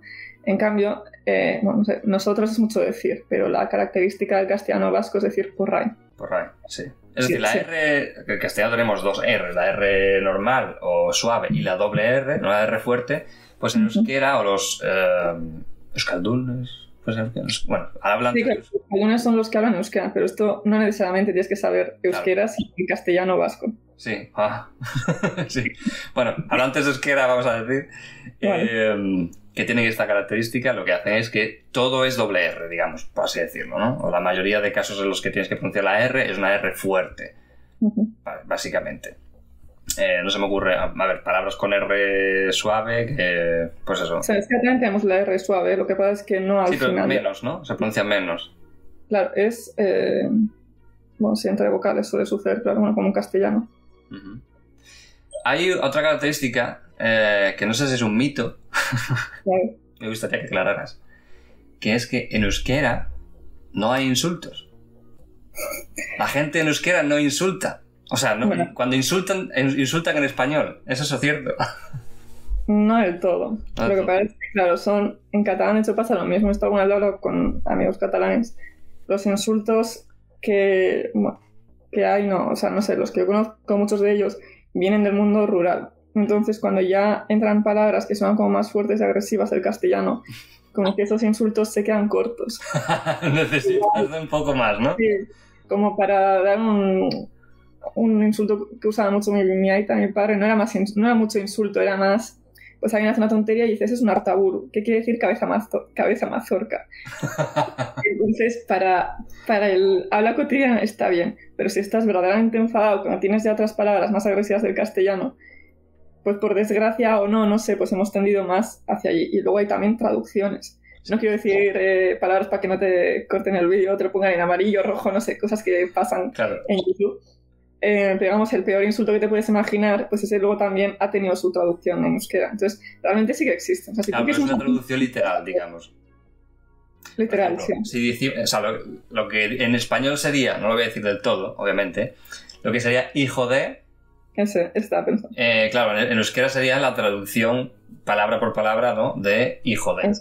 Mm, Pero es. no existe un equivalente en euskera que significa que signifique hijo de, ¿no? Es a lo que llevamos. O sea. Claro, a ver, o sea, hijo de sí que existe, evidentemente, lo que se ha cogido. porque puedes decir, pues, puedes decir hijo de tal, pero no existe un insulto, diríamos, que es equivalente a ese, ¿no? Por eso recurre al... se podría decir, pero de una manera que es poco seria. Claro, Una manera de decir eso era, eh, como se dice, mujer perdida. Entonces, hoy en claro, día, pero no es lo mismo, ¿no? Eso es a lo que vamos, ¿no? Claro, hija de mujer perdida. Es un poco, es un poco triste. Es como si te te quieren insultar y te dicen, "Mm, eres un poco de mentalidad distraída. Claro, Pues no tiene el mismo efecto que te digan hijo de... claro. Sí, entonces, a los que son más rurales se han quedado más, pues son como cookies, cuando no quieres ser un bruto. O sea, si alguien es despistado también, pues choriburu, que es como cabeza pájaro. A mí me encantan, ¿eh? o sea, cumplen su función discursiva, pero claro, no es... Es por una conversación normal de, jo, qué choriburu y tal. Pero no es... no es para insultar, insultar, no es para, no es para hacer daño. Eso es. Es un insulto, entraría en categoría de insulto, pero no es para hacer daño como tal. O por lo menos, si ese es el, el motivo eh, que te lleva a utilizarlo, no, no tiene el efecto. No tiene el delivery. Exactamente. O sea, algo falla, algo falla ahí en la, en la comunicación, ¿no? ¿Alguna otra más que quieras añadir? Ah, es que no hay que explotar la cabeza con morfosintaxis. Lo voy a intentar hacer como muy, muy breve y O, o si no, alguna, tipo, por la que digo yo, a, a- que acabo de decir, a, ran- a grandes rasgos de, pues mira, no hay insultos, o los insultos son tal. Digo, por si no quieres entrar tanto en, en gramática tan específico y tan... Es que lo más guay que tiene para mí es la gramática, soy una nerd. Vale, pues... Eh, pues nada, seguramente básicamente, Hay nerds de gramática también que ven esto. claro. Hay un tratamiento que se llama el itano o alocutivo en lingüística que atrae a muchos lingüistas de todo el mundo, ¿no? Entonces, básicamente en euskera tenemos, como en muchas lenguas, dos tratamientos, el tú y el usted. Lo curioso es que hoy en día casi todos nos hablamos de usted, que es el su que he dicho antes, porque el tú es un tratamiento especial que requiere una conjugación especial que cada vez queda menos gente que puede hacerlo. Por lo siguiente, en euskera no hay género, ¿no? Es como en inglés, entonces en ese sentido, fantástico. Pero en este, esta forma alocutiva quiere decir que cuando estás hablando con alguien, le tienes en cuenta a tu interlocutor. Por ejemplo, si estamos hablando de tú de manera informal y yo quiero decir, eh, imagínate que estamos hablando de un amigo, ya sé, vamos a llamarle Paquito. Paquito se ha echado un novia y yo estoy hablando contigo, tendría que decir, Paquito se te ha echado un novia. Tú no tienes nada que ver con la historia de Paquito, pero como estoy hablando contigo, tengo que meter un morfema que te identifique en mi discurso. Eso es algo muy difícil de hacer. Esto es- lo he dicho de una manera muy sencilla, ¿no? Porque tienes que tener en cuenta, bueno, tiempos verbales, eh, distintos tipos de sistemas Sí, que hay de registro. Por ejemplo, en castellano sí que se utiliza eso, o no sé en castellano, por, por lo menos yo en, en- en An- en Andalucía lo he oído bastante, pero no con el mismo sentido, no con el mismo... El dativo ético creo que estás diciendo tú, ¿no? Como lo de que alguien me come las lentejas, por ejemplo. cosas. Pero claro, mm, cuando nosotros lo utilizamos sí que tiene esa palabra, o esa partícula sí que tiene una relación con, con esa persona. Claro, tiene como un toque de afecto. Claro.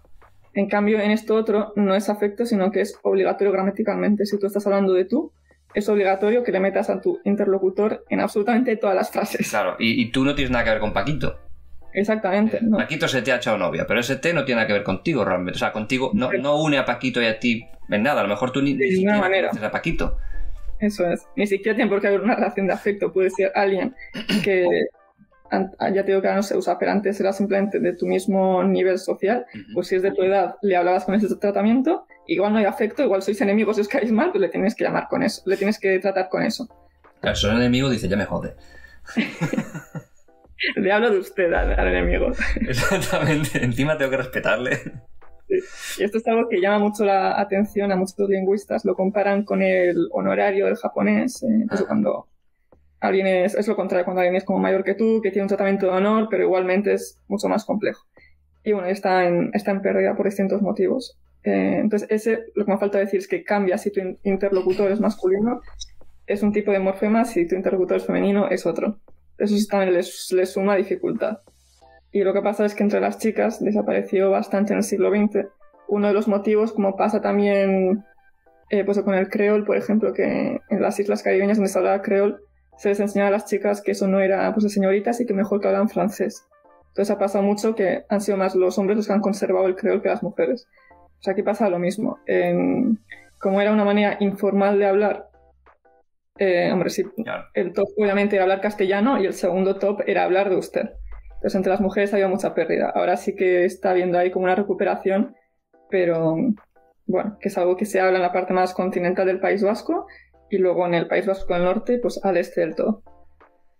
Son cosas. Claro, aparte, si, teniendo en cuenta también, por ejemplo, la historia de España, que como ya hemos dicho en otras lenguas minoritarias y minorizadas, eh, tenemos un periodo en el que, ¿no? El franquismo, en el que fue prohibido. Sí. Imagino que ahí se perdió muchísima información y muchísima mm, herencia, ¿no? De, de- de la lengua. Gente que, que, bueno, pues por desgracia, digamos, eh, o bueno, o no, depende de la persona, imagino, no sé, pero bueno, en términos lingüísticos, o sea, para los lingüistas, eh, por desgracia, eh, pues no, mm, no pudo aprender el, el uy, el gallego, el euskera, eh, bueno, que también ocurría igual con el gallego, ¿no? Pero no pudo eh, aprender euskera desde pequeño.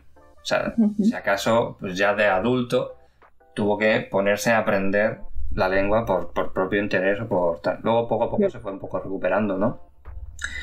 Pero, eh, bueno, no sé si ha cambiado mucho desde entonces la lengua en sí, pero desde- sí, la época del franquismo y demás hasta hoy en día, por esa prohibición que hubo, esa, ese ghosting también que se le hacía, y que solamente se hablaba, bueno, prácticamente dentro de casa, ¿no? Y, y con mucho Sí. cuidado, porque si te oían en casa hablando en euskera, igual te llevaban a dar un paseo, eh, que se llamaba, o te encerraban en un calabozo, o vete a Sí, saber el ¿qué pero hablábamos, hablamos de, de- de- de esto, ¿no? De cómo se han ido perdiendo muchas cosas. eh, y uno de los motivos, pienso, eh, bueno, de lo- el- por los que se ha conservado, es gracias, supongo, no sé, ahora me verás tú, porque hay, hay varias, eh, varios puntos de vista en cuanto a, a esto, ¿no? Sobre todo por parte de los nativos, quiero decir. Eh, uno de los motivos yo pienso que ha sido también gracias eh, al, al Batúa. Sí, totalmente. ¿no? El Batúa. O sea, explícanos un poco qué, qué variedades del euskera hay y, y dónde entra lo que sería el, el Batúa. Vale, pues para que, bueno, para que os hagáis una idea, bueno, tenemos eso de Euskal Herria, pero entendido como las siete provincias, no nos quedéis con la parte que en castellano es País Vasco. Entonces, eh, bueno, hay distintas propuestas de dialectos, pero vamos a coger la de Colozozo, que es el, el dialectólogo yo creo que más conocido dentro del euskera, que él lo divide en cinco, si no me equivoco. Entonces, em, bueno, está, no sé, el vizcaíno o el de, ¿cómo se llama? El de Occidente. Luego está más la parte central, que es donde está Guipúzcoa. Em, luego está el, que está en el norte de, Navarra, que comparte un poco de características con el labortano. Eso es la zona de labor en francés o la purdia en euskera. Y luego está el del este, que es eh, la Baja Navarra y Suberoa o la Sur en, francés. Entonces, más o menos esos son, ¿no? Y lo que se suele hacer a la hora de, de un estándar es, eh, bueno, como ya sabréis, coger la variedad que tiene más prestigio y en este caso también querían coger la variedad que tuviera mayor cantidad de hablantes en ese momento.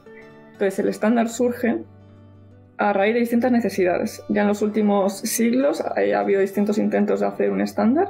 El primero fue en 1571 con una Biblia protestante que fue encargada por la reina de la reina de, de, Navarra de esa época le encargó a pues eso, a un ilustrado que hiciera la Biblia protestante, porque ahí están llegando esas corrientes de protestantismo. Uh -huh. A raíz de eso luego los reyes católicos cierran fronteras y bueno, todo eso, ¿no? Para que no se extendiera el protestantismo. Yeah. Pero básicamente ese que se llama eh, Dionis de Lizárraga, eh, junto con un grupo de intelectuales, hicieron ahí una especie de tal de comité, intentaron hacer un euskera que fuera entendible para todos, con un glosario pero no, no, tuvo éxito en parte por los motivos religiosos o políticos. Entonces, bueno, a lo largo de la historia hay distintos intentos, pues una eh, gramática con un diccionario que reunía las palabras del País Vasco, eh, de la Ramendi en 1745, bueno, etc. Ha habido distintos intentos. Y todo esto viene a que, claro, pensar que el euskera se habla desde por lo menos hace 2000 años. Entonces, como pasan todas las lenguas, como pasa ya con el latín, se van diferenciando, se van diferenciando, y más si no perteneces al mismo reino, como ha pasado en ocasiones. Entonces la, había una necesidad de crear eh, un estándar o una unificación, no solo para unir al grupo, sino para que se, se siguieran eh, entendiendo. Y luego ya, pues, para poder transmitirlo, para que cada uno no transmita el euskera de su valle, sino para tener un consenso, poder escribir todos en lo mismo, para crear una cultura general. Entonces ahí viene finalmente lo que es Batua, que Batua quiere decir unificado en euskera.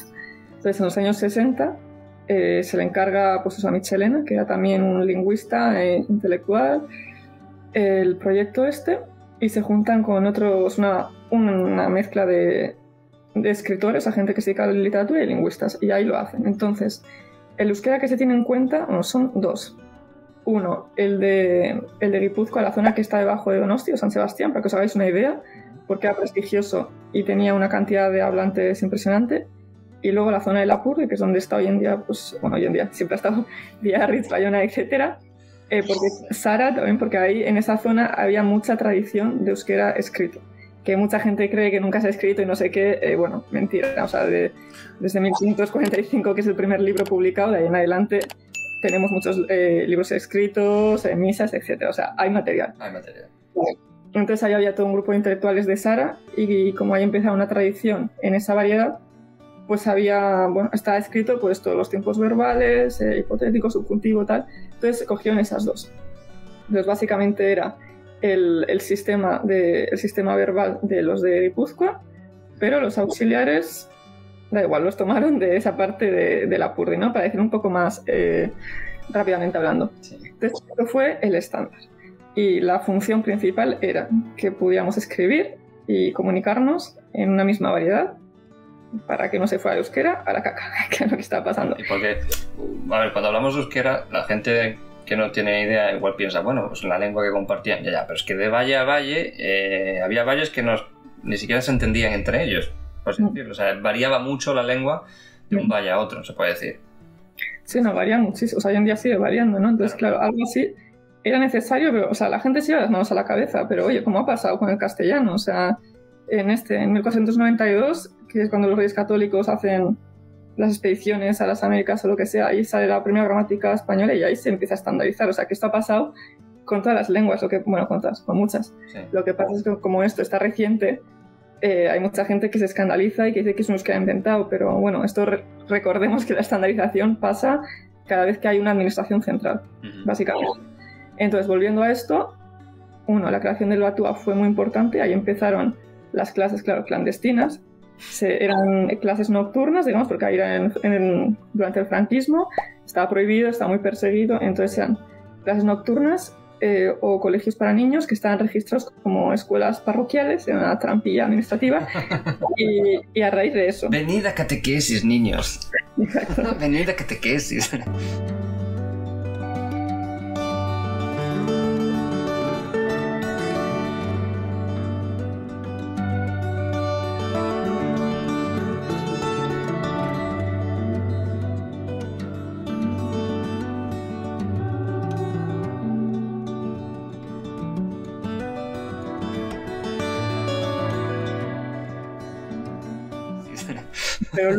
Lo importante es que ya cuando se acaba la dictadura y se crea la nueva constitución, esto a nivel de España, claro, porque Francia es completamente diferente. Pero bueno, entonces eh, ya en el 1982 se crea la ley de la normalización, que eso básicamente da poder a las comunidades autónomas para que en sus estatutos decidan si van a hacer la lengua oficial o no. Claro, que ese es uno de los Y ahí- problemas que seguimos teniendo. Y de hecho hablábamos también, ah, vuelvo a mencionar la entrevista de, de Jorge Puello con el aragonés, ¿no? Que él decía, el aragonés es una lengua. ¿Qué pasa? El problema es que oficialmente no tenemos un papelito que mm, diga, o sea, un papelito de, repetimos, del gobierno, porque al final decide la comunidad autónoma. Entonces lo- los que mandan en la comunidad autónoma de Aragón, pues mm, no han visto bien decir, mira, es una lengua, pero que lo digan ellos o no, mm, normalmente, que es otra cosa bastante curiosa, bastante mm, divertida, ¿no? Normalmente los que mandan en esto muchas veces no tienen ni idea de, de- de lenguas. Sí, la mayoría de los casos, la verdad, solo que pongas ahí un técnico Exactamente. especializado o alguien que se dedique a ello, o sea, no, no tienen por qué, es como ser de agricultura. O sea, si pones a alguien que tiene estudios, sí, Ministro de Agricultura, no ha pisado el campo en su vida, Julio. claro. Pues sí, estoy igual. Entonces, en este caso, aquí es donde se crean diferencias con el euskera. Y esto ya, aquí es donde es importante la separación de Euskadi y Navarra y por qué no podemos tratarlos igual, porque legalmente hablando es muy diferente. Ajá. Entonces, entonces Aquí en viene, Euskadi aquí viene lo- A ver, se viene, se viene. se viene. Preparaos, que se vienen cositas. se vienen cositas. Ya me imagino a Eh, los navarros diciendo, ¿qué está diciendo? No, pero en cuanto lo diga, o sea, a es innegable. Lo van a entender. Aquí no es mi opinión, esto es la ley. Bueno, te refieres con navarros del norte. No, no, no, no. Los del norte, en este caso, son como nosotros. Ahora lo explico. Bueno, sí, vale. La, la situación de Navarra es súper compleja. decía que hay diferencia entre navarros del norte y navarros del sur. Sí, sí. Eso fijo, eso fijo. Y eso, entonces nosotros tuvimos la suerte, nosotros en Euskadi, Vizcaya, Araba y Guipúzcoa, que nuestros estatutos sí que reconocían el euskera como cooficial. Y gracias a eso eh, se desarrolló pues esta educación de inmersión, que básicamente quiere decir que hemos tenido acceso a la educación pública, sanidad y admi- y administración en euskera. Y eso nos da ciertos derechos lingüísticos. Eh, como todo en la vida, todo no está conseguido, aunque sobre papel sean derechos, luego pues se violan estos derechos o no están garantizados, pero legalmente lo tenemos. En cambio, si vamos a Navarra, hicieron una ley un poco extraña, que lo que se llama como, no sé cómo se llama, pero bueno, hicieron una zonificación. Entonces, eh, según fue, no sé si es en 86, fue un poco más tarde que la Euskadi, pero en los 80 vieron en el censo cuánta gente hablaba euskera en cada comarca. Y en base a eso dividieron Navarra legalmente en tres zonas. La zona euskaldun, es vasco parlante, la zona mixta en medio y la zona no vascófona. Claro, recordemos que acabamos de salir del franquismo. O sea, en mi pueblo, por ejemplo, yo soy de Guecho, para quien conozca, yo creo que después del franquismo, no sé si era el, el 10 y pico por ciento la euskera, hoy en día es 30 y algo, cerca del 40, para que os hagáis una idea. O sea, se había re- revertido drásticamente. Y aparte, en las zonas eh, limítrofes con España, por decirlo así, evidentemente se habla menos euskera, o sea, pero eso como se habla más castellano, ¿no? O sea, como pasa en todos lados, te quieres como, Como pasa en cualquier zona limítrofe de cualquier país, o cualquier estado, cualquier comunidad autónoma. que en Texas pues hablan más castellano por estar cerca de México Claro. o vienen más, pues es lo mismo que Al final hay una influencia mutua, digamos, ¿no? Aunque a veces la influencia puede ser más fuerte de un lado que de otro, pero bueno, hay contacto. Eso es. Entonces, eso pasó. Entonces, en el norte de Navarra, que es donde más se habla, eh, pues es bueno, cooficial y los derechos están relativamente garantizados en el sentido de que pueden, por lo menos los colegios públicos pueden estudiar en euskera, que es un poco lo importante para la transmisión y la revitalización de la lengua. Luego está la zona mixta, que es donde está la capital, Iruña o Pamplona. Y que ahí es una cosa un poco extraña, porque es como, están garantizados algunos, a veces es como muy un gris legal. Y luego está la zona no mixta, que es pues toda la parte de abajo, digamos, si esto si Navarra es así, abajo tiene una puntita, pues sería toda la parte de abajo, ¿no? Y entonces hay cero oficial, o sea, como si fuera Castilla, o sea, como si no, nunca, nunca hubiera puesto ahí. O sea, español. Ya. Sí, Es como esto, absolutamente. esto, esto no ha pasado, ¿no? Dirían. Eso es. Entonces ahí, si quieres estudiar en euskera, tienes que ir a una Icastola, que son eh, unas escuelas que se mantienen a base de una asociación de todas las Icastolas, con una red, y es como si fuera un sistema concertado. O sea, ellos se, se autogestionan, tienen alguna subvención gubernamental, me imagino, pero vamos, que tienes que pagar. Sí, de hecho, bueno, de Costola son, digamos, las escuelas, como la escuela oficial de idiomas, pero de euskera. Claro, pero estudias todo, no Bueno, solo sí, sí, idiomas. no o sea, solamente idiomas, ciencias estudias todo. Todo, exactamente. Claro. Que son los que te dan, digamos, el, el- no sé si en la escuela oficial de idiomas te lo dan, pero eh, la Castola, por lo que tengo entendido, era la que te da el título de, eh, bueno, si quieres vivir en el País Vasco quieres trabajar en la organización pública, o sea, la, en la- como funcionario, digamos, tienes que sacarte el, el ¿Celga? Elga. EGA. Sí, era EGA, pero ya desapareció. Ah, desapareció. bueno, el título En 2019 es, eh, fue el C1 ahora. ¿Cuál? O sea, lo hicieron para que sea como el resto del marco del Ah, entonces ya quitaron eso del EGA 1, EGA 2, Claro. EGA... Ah, Ahora no es EGA, ahora es C1. Entonces, eh, todo esto lo estamos diciendo así porque eso, hayas dicho que gracias al Batúa que haya mejorado la situación, y sí, pero eso, hay que tener en cuenta que son dos cosas. Uno, gracias al Batúa, dos, a la normalización. Y que se haya, que haya sido accesible en la educación, porque si no, pues el gente como yo, que viene de familias vascas, pero que la transmisión se paró, no lo, no lo hablaríamos. Y en Euskadi, no digo en Euskadi, en Euskadi, hoy en día la mayoría de los jóvenes hemos aprendido el euskera en, en la, en- bueno, en la escuela o la icastola, y eso te da una pista. Entonces, eh, se está revirtiendo, digamos. Entonces, en cambio, en, en Navarra, eh, claro, en la parte de la mixta, de la zona vascófona, digo, y, y la zona mixta, pues sí, poco a poco también se va revirtiendo, pero en la zona no vascófona, pues tienen muchísimos obstáculos. Aparte que está extremadamente politizado, extremadamente. Entonces ahí hay, hay una lucha constante. Y, pero bueno, por ejemplo, en, en Navidades yo tengo una amiga de estudios vascos que es de Tutera, Tudela en castellano, y me pareció impresionante porque tienen una icastola, eh, son familias súper comprometidas que mandan a sus hijos ahí, que hacen danzas vascas, que se juntan, hacen muchísimas... ellos dejan de estudiar en la icastola, pero su relación nunca acaba. O sea, Ya. es, es como parte de una comunidad. Cuando fuimos los amigos de la carrera a visitarle, que todos hablan euskera, y fuimos a un bar donde nos hablan en euskera, bueno, todo impresionante. El 4% del pueblo habla euskera. 4%. Eso muy- es muy poco, o sea, son cuatro columnas. Es que los, se conocen entre ellos. Sí. Y ella sabía que eso que ese bar, que era Euskaldun y tal. Pero digo, ojo, es que eso es eh, la resistencia no a lo siguiente. Claro, pues, al final, pues como siempre, política, pues al final están consiguiendo lo que quieren. Claro. Pues, eh, Y por eso es tan importante la normalización. Ese es el mensaje. Y luego, si vamos al País Vasco del Norte, que políticamente pertenece a Francia, como ya sabéis, Francia no reconoce, Francia peninsular, no reconoce ninguna lengua que no sea el francés. exactamente. Entonces ahí... Y mira, eh, y mira que tienen lenguas. y mira que tienen lengua así. Mira que una tienen lenguas. Porque aquí en España hablamos de algunas, que son, bueno, son- unas cuantas. e intentamos protegerlas eh, como podemos, ¿no? Eh, y, y- y, bueno, y nos quejamos porque sufren mm, muchísima discriminación, sufren muchísima presión y demás.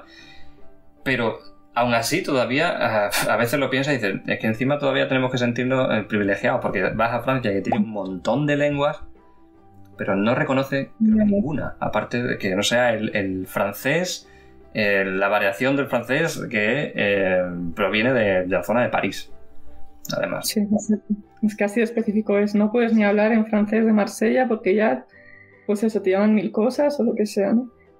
Mm. Pero no, lo más triste es eso, el tema de las lenguas, que ahí el, el euskera ha bajado muchísimo. Y entre los jóvenes y tal, y se mantiene, bueno, aparte en las familias, hay una especie de internados donde la gente de campo y tal va, ahí se juntan Y, y, bueno, es una manera de mantener el euskera, ¿no? En esos internos, pues ellos viven, estudian todo en euskera, a los fines de semana se vuelven a su casa. Pero luego, por ejemplo, pues hay una lucha ya de hace unos cuantos años que lo que sería su selectividad eh, no la pueden hacer en euskera, aunque ellos estudien en euskera. Eh, luego la universidad... Hacer la selectividad en euskera, perdón. ¿Cómo, cómo, perdón? Vosotros podéis hacer la selectividad o la que se llama Sí, claro. la en, en euskera. Podemos y la hacemos. O sea, si tú has estudiado en euskera, la haces en euskera, Vale, sí. vale. Es importante Pero de la misma manera que, si no lo tengo mal entendido, los colegios estos que son extranjeros, como el colegio alemán, el colegio inglés, ellos también hacen las pruebas que equivalen a esos gobiernos. Ajá.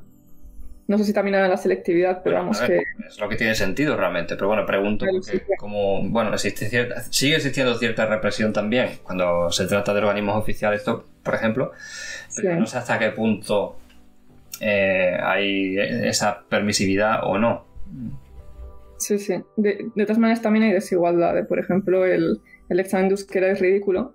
No sé si tendrá un nivel eh, B1, por decir algo. Ajá. Y esto, pues hay un texto y luego comprensión, mentira, verdad. Se parece un poco más al examen del inglés. Ajá. De inglés, digo. Cuando tendría que parecerse más al examen de castellano. O sea, no sé qué, Bernarda Alba, el otro, hace un análisis literario. Y aquí nos están pidiendo eh, si tal hecho es mentira o falso. O sea, mentira o verdad en el texto. Hombre, por favor. O sea, eso en Cataluña creo que lo tienen mejor. Creo que ahí sí que es un examen más serio. Yo creo que Cataluña, eh, dentro de las lenguas minoritarias de España o minorizadas, creo que Cataluña es la que lleva más tiempo luchando, supongo, luchando oficialmente, digamos, y, y más agresivamente también. Sí, la ¿Cuánto normalización. lingüística? de ¿Cuánto ellos lingüística? No me, no me meto en otros temas políticos y de agresividad porque podríamos dedicar otro capítulo entero a eso. Pero Que no sí, en vamos a Cataluña mencionar aquí por si me quitan el vídeo. tengamos la fiesta en paz.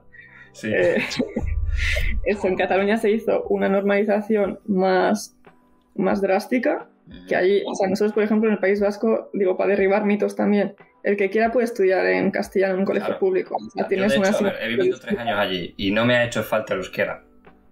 Eso tampoco le das muy alto que si no... No, si ya, no hay- que- a ver, que puedes, que digo para que la gente no se asuste de que la gente a lo mejor que quiera ir allí o a, a vivir, por ejemplo, que diga, oh Dios mío, quiero ir pero no puedo porque si quiero vivir allí, quiero trabajar, en cualquier sitio me van a... A ver, No, que vengan, pero que aprendan, por favor, ¿eh? Eso por sí, favor, te lo pido. obviamente, No me eso- hagas una propaganda de en castellano se puede. se puede sí, pero no, a ver, aprender la lengua, joder, ya que vais a un sitio, Eso es. o sea, yo, a ver, te- yo no lo seguí intentando porque yo de- me marché de allí también. Si hubiera seguido allí, ya te digo que, que hubiera intentado por todos los medios eh, aprender la lengua. Pero también por, por vosotros o por quien venga, porque o sea, al final yo tengo, tengo amigos de fuera que han venido al País Vasco y tal, y yo siempre les digo, o sea, os estáis perdiendo una parte de la comunidad. Evidentemente tú puedes, no sé si eres de Burgos, puedes estar solo con amigos de Burgos, si eres argentino, puedes estar solo con argentinos, fantástico, o con vascos que solo lo hablan castellano. Pero sí que es verdad que hay una parte de la realidad que te estás perdiendo. Luego ya, pues depende de ti, ¿no? Igual no te interesa y no pasa nada. Pero, pero entonces va a hacer lo mismo ir al País Vasco que ya a Cantabria. O sea, Bueno, sí. pero bueno, sí. Si vas Bueno, a para- Noja, lingüísticamente hablando, por lo menos. Noja, que es un poco. Noja, Casturdiales, que viene a ser viendo. Es como una. un- pequeños pueblos de Bilbao, ¿no? Sí, son pequeñas, ¿cómo se llama? enclaves. Son la resistencia. Poco a poco sean nuestros. Poco a poco, algún día le darán la nacionalidad vasca allí a, Yo creo que a los sí. residentes de, de Pronto nos Yo creo que hay negocio. Sí, sí. Pero bueno, volviendo al- lo de Cataluña, que allí, aunque mucha gente diga, ay, tal, me obligan a hablar catalán, el trabajo que han hecho, o sea, es brutal porque tu origen, tu casa, tu nivel socioeconómico no te condiciona. Eso es algo que aquí pasa. Esa es la realidad. Entonces, el hecho de que se estudie todo en catalán en colegios públicos, sinceramente, felicidades. O sea, todo el mundo puede hablar, luego ya tú decides, pero es que el conocimiento no, no ocupa espacio. O sea, si no quieres usarlo en tu vida, no lo vuelvas a usar. Pero, pero bueno, para mí eso es algo que está muy bien y que lo admiro. Entiendo las preocupaciones, pero aquí pasa mucho eso que, bueno, vienen igual hijos de migrantes, pero que vienen ya en la adolescencia y salvo que se meta en algún tipo de intensivo extraño, es imposible que, que lo aprendan, no sé. Eh, Sí. Vamos a derribar otro mito del que hablabas antes, que es la dificultad de aprender euskera, porque el mayor temor a la hora de aprender euskera, todo el mundo dice lo mismo. Dios mío, es súper difícil. Porque es súper diferente. Al menos en teoría, ¿no? como hablamos Ujú. antes. Pero que al mismo tiempo también dijimos antes que tenía que tiene eh, bueno, características mm, también de diferentes lenguas. Entonces, mm, ¿tú opinas que es realmente diferente, o sea, perdón, realmente difícil aprender esta lengua, que es tan difícil como la gente lo suele pintar? Desde mi punto de vista, no. Para mí es un mito. Recordemos que tú eres hablante de euskera, pero no como lengua materna, tú lo has aprendido después. Bueno, a ver, yo entre uno o tres años tampoco puedo decir aquí que tengo muchísimo mérito. Es diferente, evidentemente, pero para mí no es imposible y es más fácil que otras lenguas que igual a las que estamos más acostumbrados a aprender. Por ejemplo, yo qué sé, el francés puedo decir. El francés tiene una pronunciación, desde mi punto de vista, odiosa, como hablante hispano, ¿eh? que tenemos un, un sistema fonológico un poco pobre, o sea, no, no tiene... Odiosa en el sentido, no, no vamos a fomentar odio hacia ninguna No, lengua. no, digo- no odioso, ¿sabéis a lo que me refiero? Muy difícil. Súper O sea, diferente, muy complicado comparado con, con el español. Que, bueno, recordemos que, que, bueno, pero el español le pronunciamos igual que escribimos, básicamente. Eso es, y si comparamos con otras lenguas romances, pues solo tenemos cinco vocales, o sea, ya el catalán ya tiene siete, no sé si el gallego también, no estoy segura. El gallego depende de la zona, tiene vocales también abiertas o cerradas. Bien. Sí. Eso, el italiano también tiene, y el francés, que no sé si tiene como 16, Y el- ¿no? es una locura. Yo creo que sí, entre 12 y 16 me suena, me suena, ¿eh? No olvidemos que la- las cinco vocales, los cinco sonidos vocálicos castellano, para quien no lo sepa, vienen de euskera. Claro, esa es una... Esa es una de las hipótesis, ¿no? Esta y la del betismo, creo que se llama, que no diferenciemos la B de la V, porque es, eh, hemos solo las lenguas romances de la península ibérica, son las únicas que no diferencian esos dos fonemas, pero luego italiano, francés, todas las otras variedades eh, romances que están en Italia y Francia, son muchísimas. Bueno, todas lo diferencian, ¿no? Vale. Entonces, eh, vale. Uno, la pronunciación es bastante fácil, partiendo del castellano. Eh, dos, si hablas alguna lengua romance como el francés o el italiano, donde tienen como dos auxiliares, el ser y el haber, ¿no? En euskera es lo mismo, entonces eso ya conceptualmente no tienes que aprenderlo, ya lo tienes. Vale. Luego, ¿qué más? Eh, bueno, mucho del vocabulario, no todo, pero mucho, viene del latín, castellano y francés. Y lo más moderno, obviamente, el inglés. Entonces, hay vocabulario, igual lo más rústico, sí que te va a costar más aprenderlo, pero una cosa fácil que tiene ese sentido es que muchas tienen doble. Por ejemplo, árbol, puedes decir suaiza o arbola, que viene en latín. Entonces, bueno, para personas que hablan alguna lengua romance, el vocabulario suele ser relativamente fácil. No hay artículo. O sea, bueno, hay artículo, pero solo uno.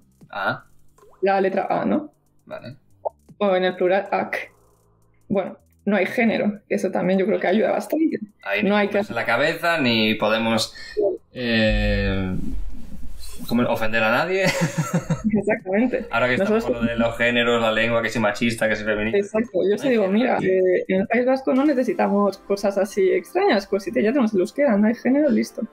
Nosotros así, al hablar castellano, damos muchas cosas por sentado, pero el castellano es una lengua complicada, no solo por el tema del género, las conjugaciones, todas las excepciones que hay, es una locura. En cambio, en euskera, bueno, aparte de no haber género, las conjugaciones, o sea, caben en un folio. Entonces, son, son complicadas en el sentido de que son diferentes, Son nuevas. pero, claro, son nuevas. Pero una vez, o sea, no sé cómo explicarlo, en euskera los verbos se construyen de manera perifrástica, ¿no? Eso quiere decir que es el verbo principal, un infinitivo, y el auxiliar es el que conjugas. Entonces, cuando tú aprendes cómo se conjuga los dos auxiliares en presente, los dos auxiliares en pasado, eh, el futuro no, porque el futuro solo añade una cosa al infinitivo, no tienes que aprender nada. Los dos auxiliares en subjuntivo y los dos auxiliares en imperativo, pues digo que es un folio, con eso ya puedes hablar en todos los tiempos verbales, porque el infinitivo nunca cambia. Entonces, estas cosas que tenemos en euskera, de- en castellano, si tuviera, si vendría, no sé qué, eh, no, nada. Entonces, es, por ejemplo, para decir, eh, en vez de como, decimos he comido. Lo que tienes que aprender es el verbo haber. Entonces, he comido, eh, no sé. He comido y hube comido, cosas así, o sea, son como tres. Y has de comer, para haceros una idea. Y ya está. Entonces, lo que es complicado y para mí es hacer el cambio de chip. que ahí lo que tienes que aprender son los auxiliares y no cómo cambia el otro, pero hablando en términos, digamos, materiales, es mucho menos que cualquier otra lengua romance. O sea, para que quepa en un folio, o no sé, a mí por lo menos eso me, me impresiona. Em, ¿Qué más? Bueno, algo que no, bueno, no lo hace a lo mejor más fácil, pero que hablamos antes de características, curiosidades, una cosa que se me pasó a mí me parece, por ejemplo, una de las cosas más bonitas que tiene el euskera para decidir querer aprenderlo es que es una lengua muy, aparte de muy antigua, muy, no sé, yo diría incluso mágica, y que los nombres, por ejemplo, los nombres propios, nombres de personas, suelen tener significado. Un significado mucho más profundo que simplemente poner eh, un nombre para llamar a esa persona, ¿no? Por ejemplo, uno de los más conocidos, que es obvio, ¿no? Porque es uno de los gigantes de, las redes, ¿no? De hoy en día, Ibai. Todo el mundo conoce a Ibai Llanos. Ibai, vasco, nombre vasco, nombre euskera. Ibai, ¿qué significa? Ibai es ligo. Río. Ibai es río. Río. Se los nombres son una pasada, o sea, yo me parece que sí, exactamente. Una pasada. Hay muchísimos nombres así. Ibai Río. Eh, a ver si me acuerdo uno más. Kites. Puede ser. Tormenta. Tormenta. Que te llames Tormenta. O sea, ¿hay algo que mole más que te llames Tormenta? Y con eso te salen superpoderes nada más nacer. Claro, o sea. O sea, tienes dos años y dices, voy a provocar una ventisca. o sea. Luego, hay, hay nombres y nombres, ¿no? Por ejemplo, a ver si me acuerdo, un axe es pastor, puede ser. Sí, esa es la forma antigua, como antiguamente se llamaban los pastores, hoy en día ya no. Pero vamos, esto se ve parecido en castellano también, o sea, alguien que se llama de apellido, solo más con los apellidos, ¿no? Porque se nombraba una persona y esa persona, eh, el oficio iba en el apellido, porque cuando, cuando no había apellidos, pues era la forma de denominarlos, ¿no? Herrero, por ejemplo, pues esa persona en su origen era un herrero, etc. Pero es que aquí, o sea, es que me mola mucho más, tormenta, o sea, ¿hay nombre, otros nombres así tipo como este? Eh, bueno, Obey es otro así que quiere decir nube. O. A ver, ¿qué más? Eh, ah, lo tiene la punta de la lengua, pero nombres de árboles también. Aritz, roble. Ah. Eh, Aritz roble. sí, todo esto así como naturales. X, sol, que bueno, eso se usa más para perros, pero bueno, quien quiera está el nombre ahí. Um, ¿Qué más? Todos así súper relacionados con la naturaleza, ¿no? Es lo, lo que me refería, es una lengua súper súper mágica, te, te lleva a, a, los orígenes, ¿no? Por así decirlo. Sí, Irache de lecho, o Iranchu, pues de lechos, o sea, es todo como muy, uy, como si te gusta el mundo es un poco chico. Exactamente. A ver, yo lo nombraba ahora, en parte como curiosidad, que se nos pasó antes quizás, o se me pasó antes, eh, y lo, lo, enlazo ahora con, con la facilidad o dificultad para aprenderla, porque al final, a la hora de aprender una lengua, lo primero que tienes que tener súper claro, lo primero es tener una buena motivación. Si tú no tienes una motivación y simplemente dices, va, quiero aprender esta lengua porque se habla o porque, mm, porque sí, porque me gusta cómo suena y ya está, al final vas a dejar de lado esa, ese aprendizaje tarde o temprano porque no tienes una motivación fuerte. Ahora, si tú dices, hostia, me encanta el mundo este místico, tal, pues mira, algo que igual puedes usar para que te llame más la atención y para que estés motivado para aprenderla. Sí. Pero ya solo porque sea... Sí, no, perdón, nada, que solo porque sea la lengua más antigua que se conoce, de, por lo menos de Europa Occidental, es que eso ya... Ya, claro. Para mí, o sea, para mí es una pasada, obviamente yo soy hablante, ¿no? Pero, es que para mí eso tendría que ser una optativa en, en colegios o, no sé, algo. Me parece como que es una pasada el, el patrimonio cultural que tiene como, como personas que había viviendo en ese sitio hace dos mil años. Sí. O sea, estás compartiendo algo de ellos realmente. Y ahí la, la, importancia de que estas lenguas se, eh, se preserven, ¿no? O sea, que porque ya no es... O sea, ¿por qué tiene tanta importancia que la gente aprenda estas lenguas? No solamente es porque la lengua siga existiendo, o sea, sino porque... Eh, no sé cómo verás tú, ¿no? Pero a la hora de hacer esto, de promulgar eh, esta lengua para que la gente la aprenda, al final también están aprendiendo parte de la cultura. Claro. ¿Y cómo se usa el euskera a día de hoy, en, la vida cotidiana? Mm, depende mucho de dónde vivas.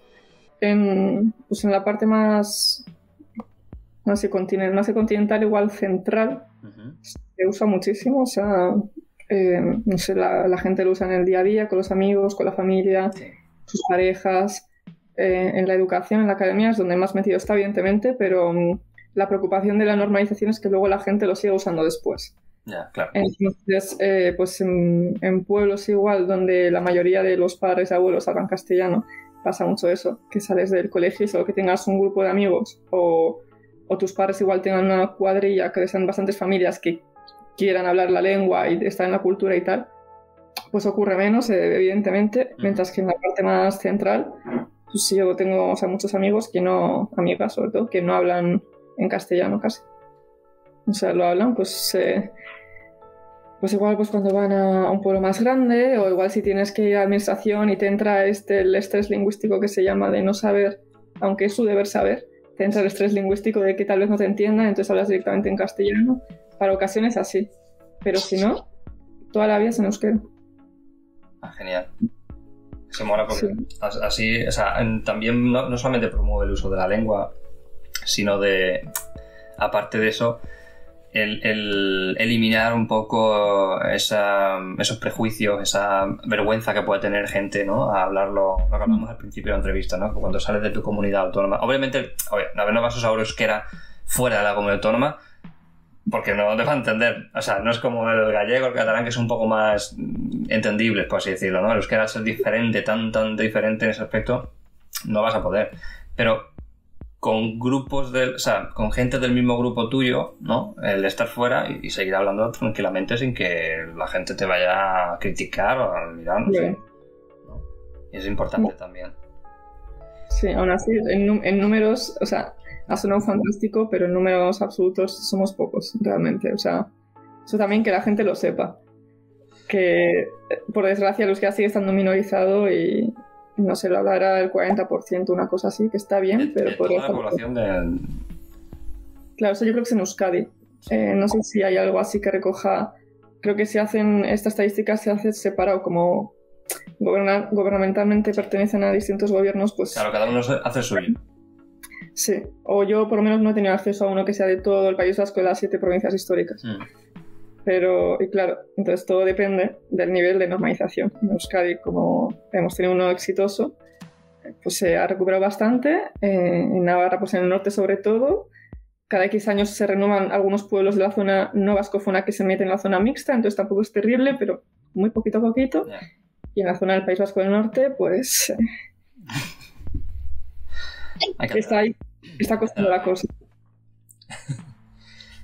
Hablemos de identidad. Vale. Aquí ya esto sí que se entra más en, en tu trabajo, ¿no? Supongo. Eh, ¿Qué papel juega el euskera en la identidad vasca? O en la identidad regional, ¿no? Ah, yo creo que uno bastante, bastante fuerte. Eh, pues la identidad vasca también, o sea, también aplica a gente que no habla euskera, creo yo. Creo que hay mucha gente que tiene, lo ve así como con mucho orgullo, se sienten diferenciados. Y mm, como hay mucha gente que no habla euskera uh -huh. por motivos históricos y sociales, pero que se sienten extremadamente vascos, pues una manera de marcarlo es mediante el castellano vasco. Entonces, por ejemplo, exagerando ciertas características, pues eso, como hacer el condicional, eh, bueno, como hacemos nosotros, es decir, si vendría en vez de si viniese, sí, o sí, con la pronunciación característica nuestra, cosas así. ¿no? Entonces, o sea, haz un pequeño paréntesis de que la identidad también está presente en gente que no habla euskera. Pero en la gente que habla euskera, evidentemente, es muy fuerte, es ya la identidad de Euskaldun, que no es solo base, es Euskaldun, uh -huh. que es como la persona, Euskaldun es literalmente la persona que tiene el euskera, entonces que tú lo hablas, y bueno, no necesariamente, pero bueno, pues te puedes sentir culturalmente y etnolingüísticamente diferente a otros que no lo hablen. Eso puede incluir vascos o no. O sea, vascos como gente del País Vasco que no habla euskera, a eso me refiero. Y, y, después, pues el euskera marca distintas identidades que se crearon a raíz de crear el euskera batúa, que es un poco lo que me habéis preguntado al principio. Entonces, antes del euskera batúa, los que hablaban euskera eran pues, nativos en general, que han aprendido a través de la transmisión familiar. Y luego, pues sí que ha habido eh, distintos intelectuales eh, que han aprendido por su cuenta y tal. Entonces, eh, pero vamos, que eran una gran minoría y lo, lo, típico que no sabemos sus nombres de lo impresionante que es eso, ¿no? Entonces, con la creación del euskera batúa y de esta especie de academias como clandestinas o como estos colegios parroquiales, eh, se crea la, la separación esta de Euskaldun Sarra y Euskaldun Ber. Pues Euskaldun es la persona que tiene euskera o vasco parlante, ¿no? Y Sarra es viejo, pero se traduciría como originario, como un hablante vasco originario. Y Euskaldun Berri, Berri es nuevo, entonces sería un vasco parlante nuevo. Entonces, ¿cuál es la diferencia? Pues estaban los Euskaldun Sarra, los originarios, los que ya estaban, y luego esta gente que está empezando a aprender euskera, la comunidad les ve como los nuevos. Hasta aquí, guay. ¿Qué pasa? ¿Qué pasa? ¿Dónde viene un poco el... ¿Dónde es el conflicto? Para mí es un punto de conflicto, hay gente que, que se la suda, pero bueno, eh, con la normalización eh, se hace accesible euskera mediante los colegios públicos, entonces hay gente que ya se hacen bilingües pues desde que entran al colegio, que es más o menos entre uno o tres años, según cuando empiece ese infantil. Pues ahí entro yo. Y claro, entonces nosotros somos la primera generación Euskaldun en la familia, los que hemos aprendido en el colegio. Vale, ¿qué pasa? Que la comunidad nos percibe como Euskaldun Berri. Pero nosotros somos gente que no tenemos el recuerdo de haber sido monolingües. O sea, yo empecé el colegio con un año y medio. Yo no sé lo que es no saber euskera, o sea, es que no, no, no tengo ningún recuerdo. Y aparte somos gente, pues eso que el euskera se nos ha dado, digamos, de manera un poco, lo hemos recibido más bien de manera pasiva, no ha habido ningún esfuerzo más el que luego se puede hacer de adulto, pues o por mejorar. Estudiar esto. Claro, pero no sé cómo decir, no es lo mismo que ha sido, por ejemplo, para mí aprender inglés, que aunque está en el colegio como una asignatura, es algo al, al cual yo tengo que dedicar horas y horas después de clase y, y he tenido que estudiar mucho para intentar tener un nivel decente. Con el euskera siento que no ha sido así, ¿no? Vale, entonces la comunidad nos percibe como nuevos hablantes o neofalantes también en Galicia, que sé que existe este concepto. Esto es algo que pasa en muchas comunidades minorizadas, que está la separación esta de nosotros los originarios versus los nuevos que se nos han unido ahora. Entonces, ¿qué pasa? Muchas veces es, eh, nosotros creemos que somos nativos hasta que nos dicen lo contrario. En mi caso yo creía que era Euskaldun Sarre, me creía todo originario, porque mi familia es del País Vasco, yo lo hablo de toda la vida, me considero originaria, bueno, pues se ve que no. El que, el que te dice el que te dice que no eres nativa es un es un Euskaldun Sarra. Claro, tienen que tener la autoridad. Claro, no, Sí. no dice cualquiera, entonces dile tú que no. Claro, exactamente. Dile tú que no, tú ya vienes con tus propios complejos de no hablar euskera en casa. Otra cosa que nos caracteriza es que nosotros hablamos el euskera batúa, el estándar, que es un euskera que desde fuera se percibe como muy académico. Porque este es el problema. Claro, no lo es es, considerado como un euskera artificial. Sí. Eso ya lo estamos superando, yo creo, ¿eh? pero porque al final está basado en dos dialectos que existen. Mucha gente dice, no, es que es inventado. Claro, pero, pero técnicamente, técnicamente es artificial. Es No ha artificial. evolucionado de manera natural. No es, un- no es una forma que haya sido de manera natural, sino que unos lingüistas señores se eh, reunieron y dijeron, vamos a coger esto de aquí, esto de allí. Por eso digo, técnicamente es artificial. Pero, cierto, pero si vamos a donde se juntan esas dos variedades, las que se basan en la isoglosa, hay gente que habla así de casa. Porque se están juntando esas, o sea, ahí están las isoglosas, esas dos em, variedades. Entonces, ¿quién es nadie para decirnos que tu es artificial? O sea, es artificial en el sentido de que ellos decidieron esta variedad y esta otra, que son las prestigiosas y las que tienen mayor tradición. Vamos a, a juntarlas, vamos a coger lo que las dos tienen en común, que eso es importante también, no fue así random. Y lo que hicieron fue pues todos los parámetros. O sea, por ejemplo, si había hay variedades que tienen dos maneras de hacer el plural dentro de la misma variedad. Pues lo que hicieron era, mira, vamos a estandarizarlos. Elige una, que es la que más se utilice y tal. Pues que eso mismo también se hizo con el castellano de Castilla y Bueno, con claro, mil otras personas, ¿no? Entonces, claro, realmente todos, lo que, todos los que estudiamos en una lengua oficial estamos hablando de una lengua artificial, ¿no? Por, por ese criterio. Y luego, por otro lado, lo que se hizo es que el vocabulario se acepta el vocabulario de todas las variedades. Entonces, desde mi punto de vista, más que artificial, es un euskera enriquecido.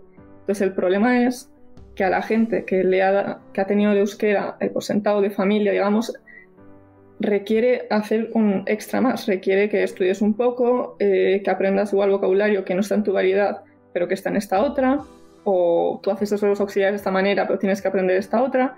Ese es, ese es el problema. Entonces había mucha gente que de repente pues, no entendía el euskera batúa, al no ser su variedad. Claro. pero hubo mucha gente que hablaba euskera en casa, que como está en el mundo académico o querían apoyar el, proye- apoyar el proyecto, lo aprendieron y divinamente. Entonces, bueno, no sé. Entonces, esto, este tema de que sea percibido como artificial, que es una ideología lingüística al final, contribuye a esta separación también entre Euskaldunsar y Euskaldunberri, porque una característica de Euskaldunberris es el no tener una variedad histórica de casa o del pueblo, sino que esa es tu variedad, tu variedad es el estándar. Entonces es como hablar como los de la tele. Y eso hace, sí, eso hace pues esta separación identitaria, tanto de cómo te perciben como de cómo te percibes tú. Porque, por ejemplo, yo es el ejemplo que digo siempre, si yo viajo, ponle que voy a Cádiz y me hago ahí unos amigos, jaja, a la mínima que yo diga, bueno, que me explaye un poco, se van a dar cuenta que de ahí no soy. O sea, mi, mi acento y mi manera de pronunciar me marca geográficamente de dónde soy. Claro. Es algo que identitariamente, por lo general, tiene mucho, si estás orgulloso de tu identidad, ¿no? Eh, tiene un valor. En cambio, el, el euskera batúa, lo que nos ha pasado muchas veces es que vamos a ciertos pueblos, hablamos y no saben de dónde somos, pero directamente asumen que somos de un pueblo donde no, no hay una variedad histórica.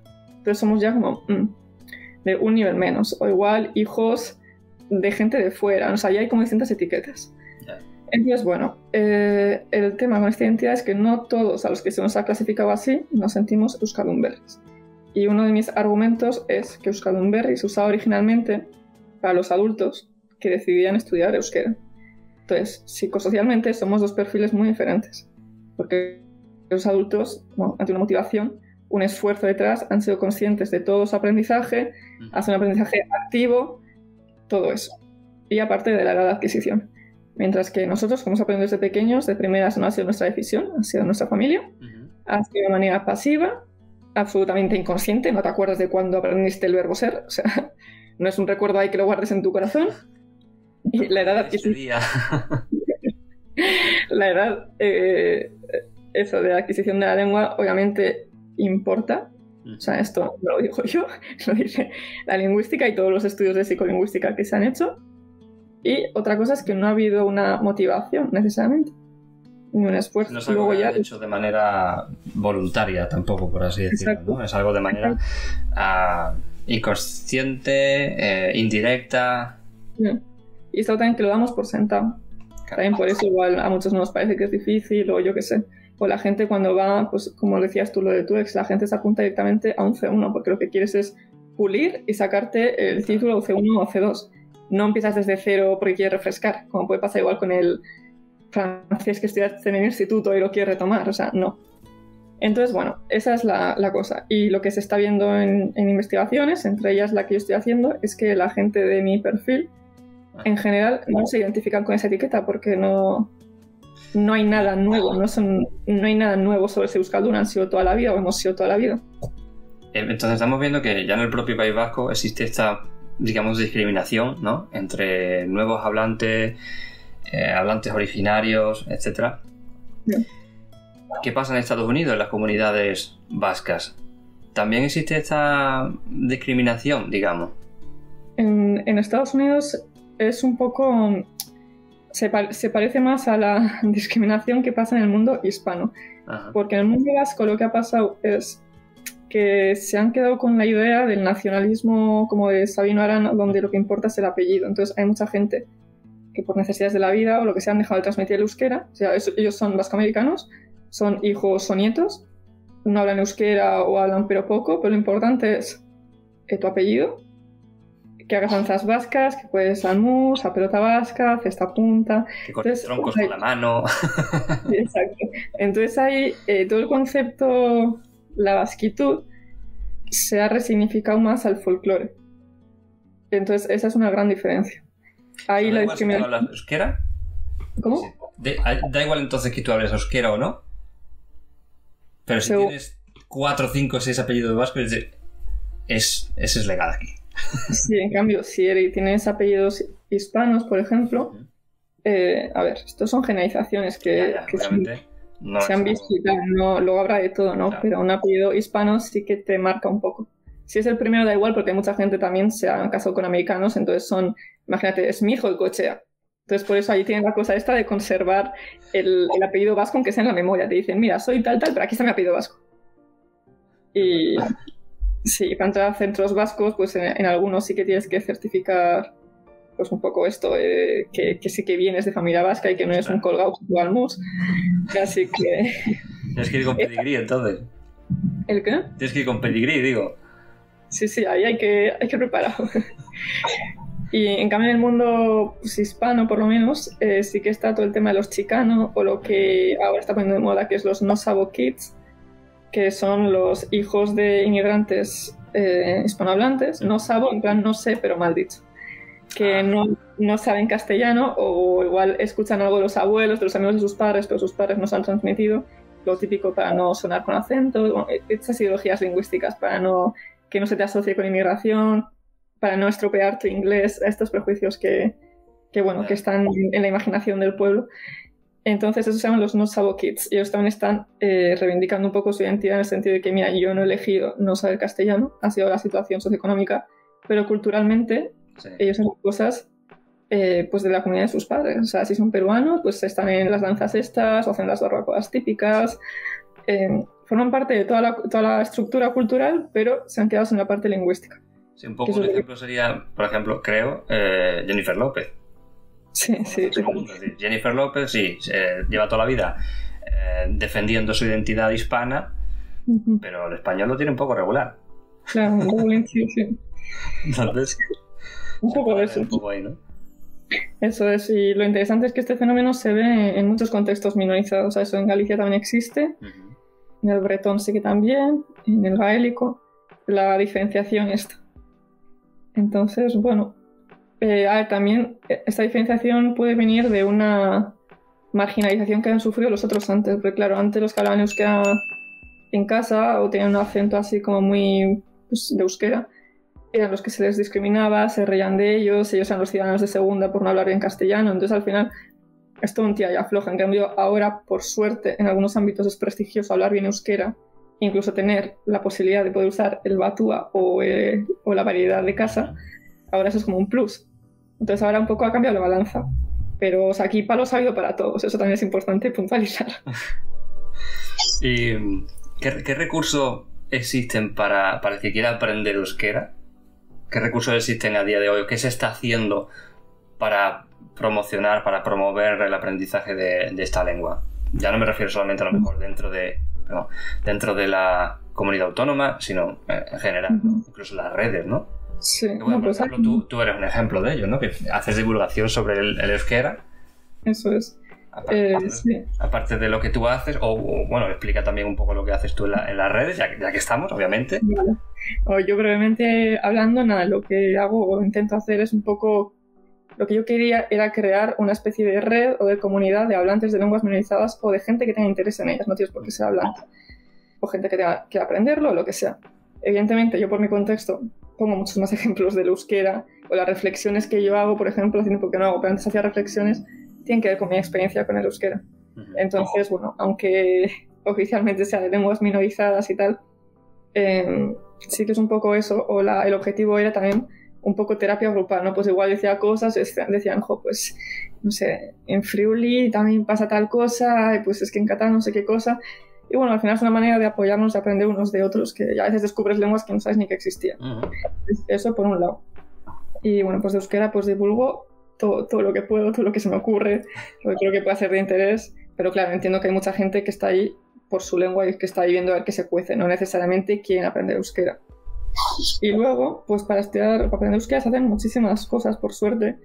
Hay una, una, asociación que tiene también eh, subvenciones de gobierno y tal, que se llama Echepare, que ellos se dedican a fomentar el aprendizaje del euskera en todo el mundo. Entonces, en ciertas universidades del mundo está la cátedra Echepare, que es una cátedra de euskera, y ahí van, bueno, lo que en inglés se llama lector, bueno, no sé en castellano cómo sería, pues son estos profesores que van a una universidad a enseñar un idioma. Creo que en inglés, bueno, o sea, en, en- en español creo que es lector también. ¿Y no? Vale. No sé. Pues, claro, se Sí, llama- lecture, eso es, lecture. en español se considera lector. Porque es lo que hace, o sea, va, suelta su rollo y se va.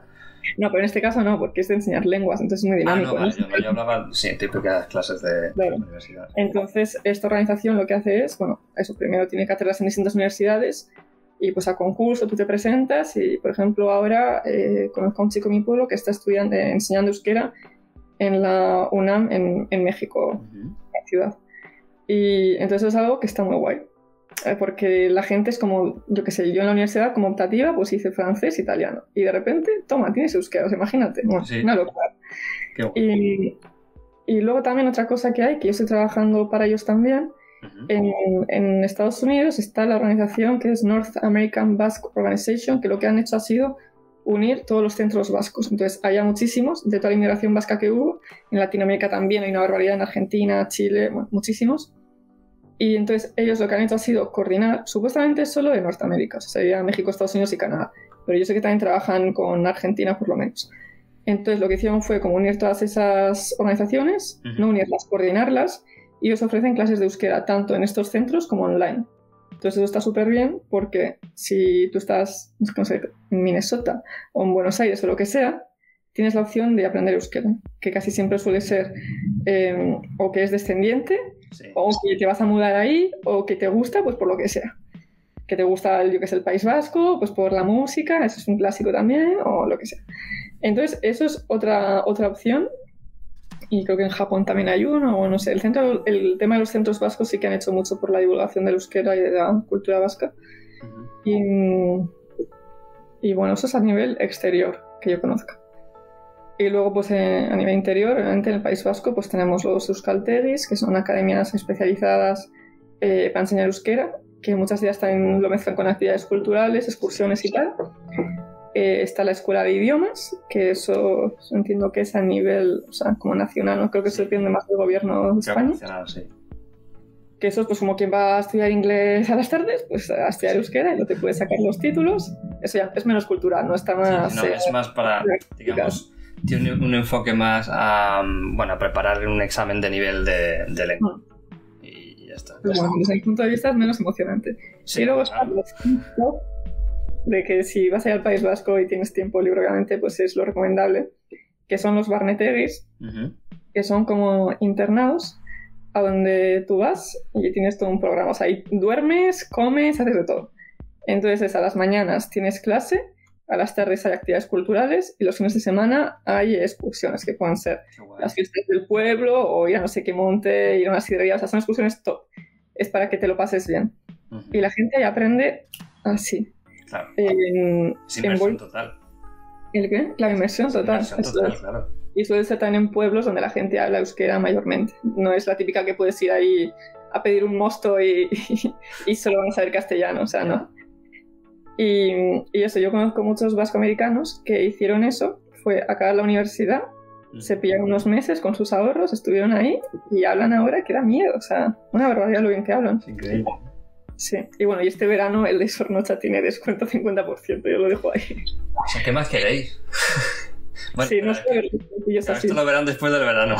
Bueno, qué pena, mirar el verano que viene, pero al punto Está que te sale, bien, mejor, te sale mejor que pagar la renta y la comida de un piso, o sea, es, es una locura.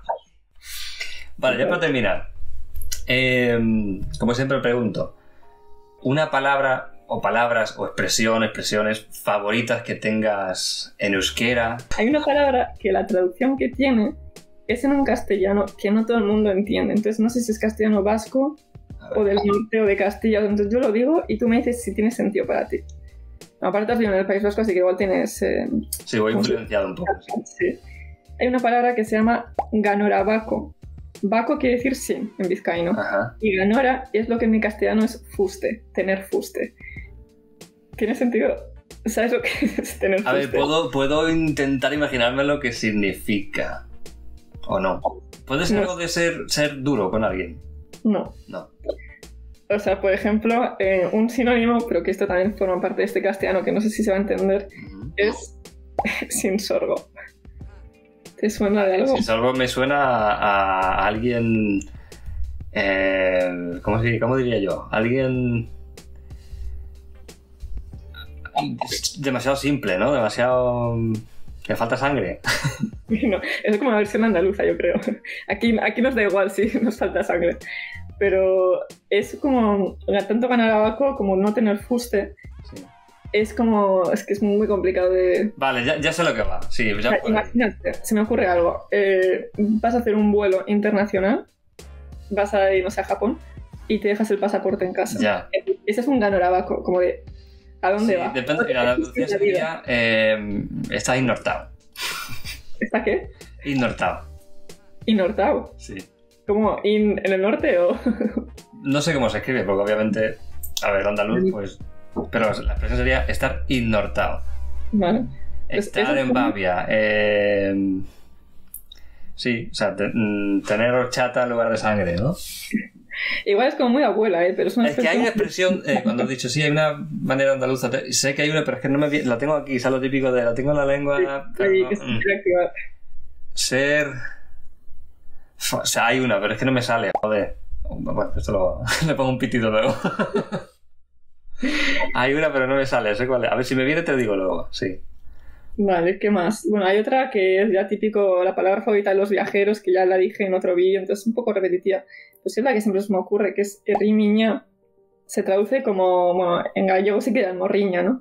Sí. Eh, entonces, erri es pueblo y miña es dolor. Entonces, que te duele tu pueblo. Es cuando echas de menos nostalgia. Pero nostalgia en el sentido no del pasado, sino de tu pueblo, de tus orígenes.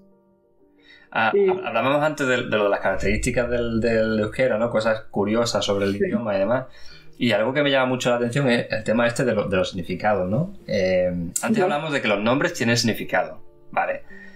Pero hay muchísimas palabras en euskera que, que a la hora... O sea, palabras que decimos en español, que al pasarlas al euskera las tomamos como traducciones, porque sería la manera de decirlo en euskera, pero la traducción literal sería otra, ¿no? Por ejemplo, Sí, eh, en español tenemos eh, dar a luz o parir. Pero en euskera, ¿cómo me sería da- me la da dolor. traducción? En euskera es erditu, que es dividirse en dos. Claro. O partirse por la mitad. Si ese me da dolor de solo pronunciarlo. Pero al mismo tiempo es bonito, ¿no? Porque es como una parte de ti. Sí, son como muy metafóricas todas. eh. A mí me gustan igual las que son más dark. En plan, por ejemplo, Luna es Ilyargi, que es la luz de los muertos. O cementerio se dice Il Erri, que es el pueblo de los muertos. Eh, Son, son un poco góticas, no es de época emo, pero bueno, también hay más bonitas. Corazón se dice Bi, que es dos, Ots, que son dos ruidos, como por el pum pum, ¿no? Por el latido. ¿Y qué más? El clásico, para decir enamorado, dices Maite Mienduta, que es como herido de amor, súper cursi. Como diría, es super cookie. Qué bonito. Y tenemos muchísimos así que sí que... ¿Hay alguna con, creo que me suena de, de- para decir abuela? ¿Puede ser que da una cosa de esta también? ¿O no? Abuela, no sé, yo siempre lo traduzco como la doble madre, pero no sé si estará bien. Ama es madre y abuela, claro, en vizcaíno es amama. Ah, vale, sí, Y, y luego ya del centro para la derecha es amuna o am- amona, en Navarra es amache, entonces no sé. Para mí es como el doble, o padre es... Ser, sí, lo que estaba pensando igual era otra cosa, lo que yo recuerdo. Ya, Pero no sí, sé. es súper guay. La luz de los muertos, la luna. Ya. Es como, Es como muy poético. sí, Un autor romántico estaba ahí. Sí. No sé qué más. Por no hablar, claro que no hemos hablado, pero porque quizá hoy no tocaba tanto, eh, la mitología vasca, que también existe. Claro, sí. Y nos metemos. Otro día haremos un vídeo sobre el euskera como tal, como la lengua, mitología y demás. eh, Perfecto. que ser, o, o de estos de, de 10 minutos que hablaba antes, que están un poco más condensados, pero más enfocado. Sí, sí, sí, sí. Para explicar los conceptos, tradiciones, leyendas, que me parece un mundo. Sí, no. Vale, bueno. pues por mí podemos dejarlo hoy aquí. Vale. Me ha encantado que hayas venido, la verdad que he disfrutado un montón. Se nos ha hecho, no sé cuánto tiempo hemos estado, creo que ha sido la entrevista más larga hasta. Ya lo siento, lo he pensado, digo, joder, todos No, ahí. no es malo. ¿eh? O sea, yo, yo me sentía mal por ti. No, yo aquí estoy, estoy súper a gusto, o sea que digo, "Fua, aquí está nublado total, aquí estoy como Dios. Ah, bueno, como aquí. De hecho, bueno, te- tengo esto sie- siempre oscuro porque como la luz aquí cambia tanto, Sí, al final digo, mejor así, controlo yo la luz y, y, y tal, pues no es una locura luego para la edición y demás. Así que muchas gracias, eh, Eukene, por, por haber venido. Ha sido un placer contar contigo, ha sido un placer eh, por todo lo que hemos aprendido y, y a vosotros espero que os guste el vídeo y que le- bueno, lo compartáis por ahí y nos vemos en, en el siguiente. Así que chao. compártelo. Eso es.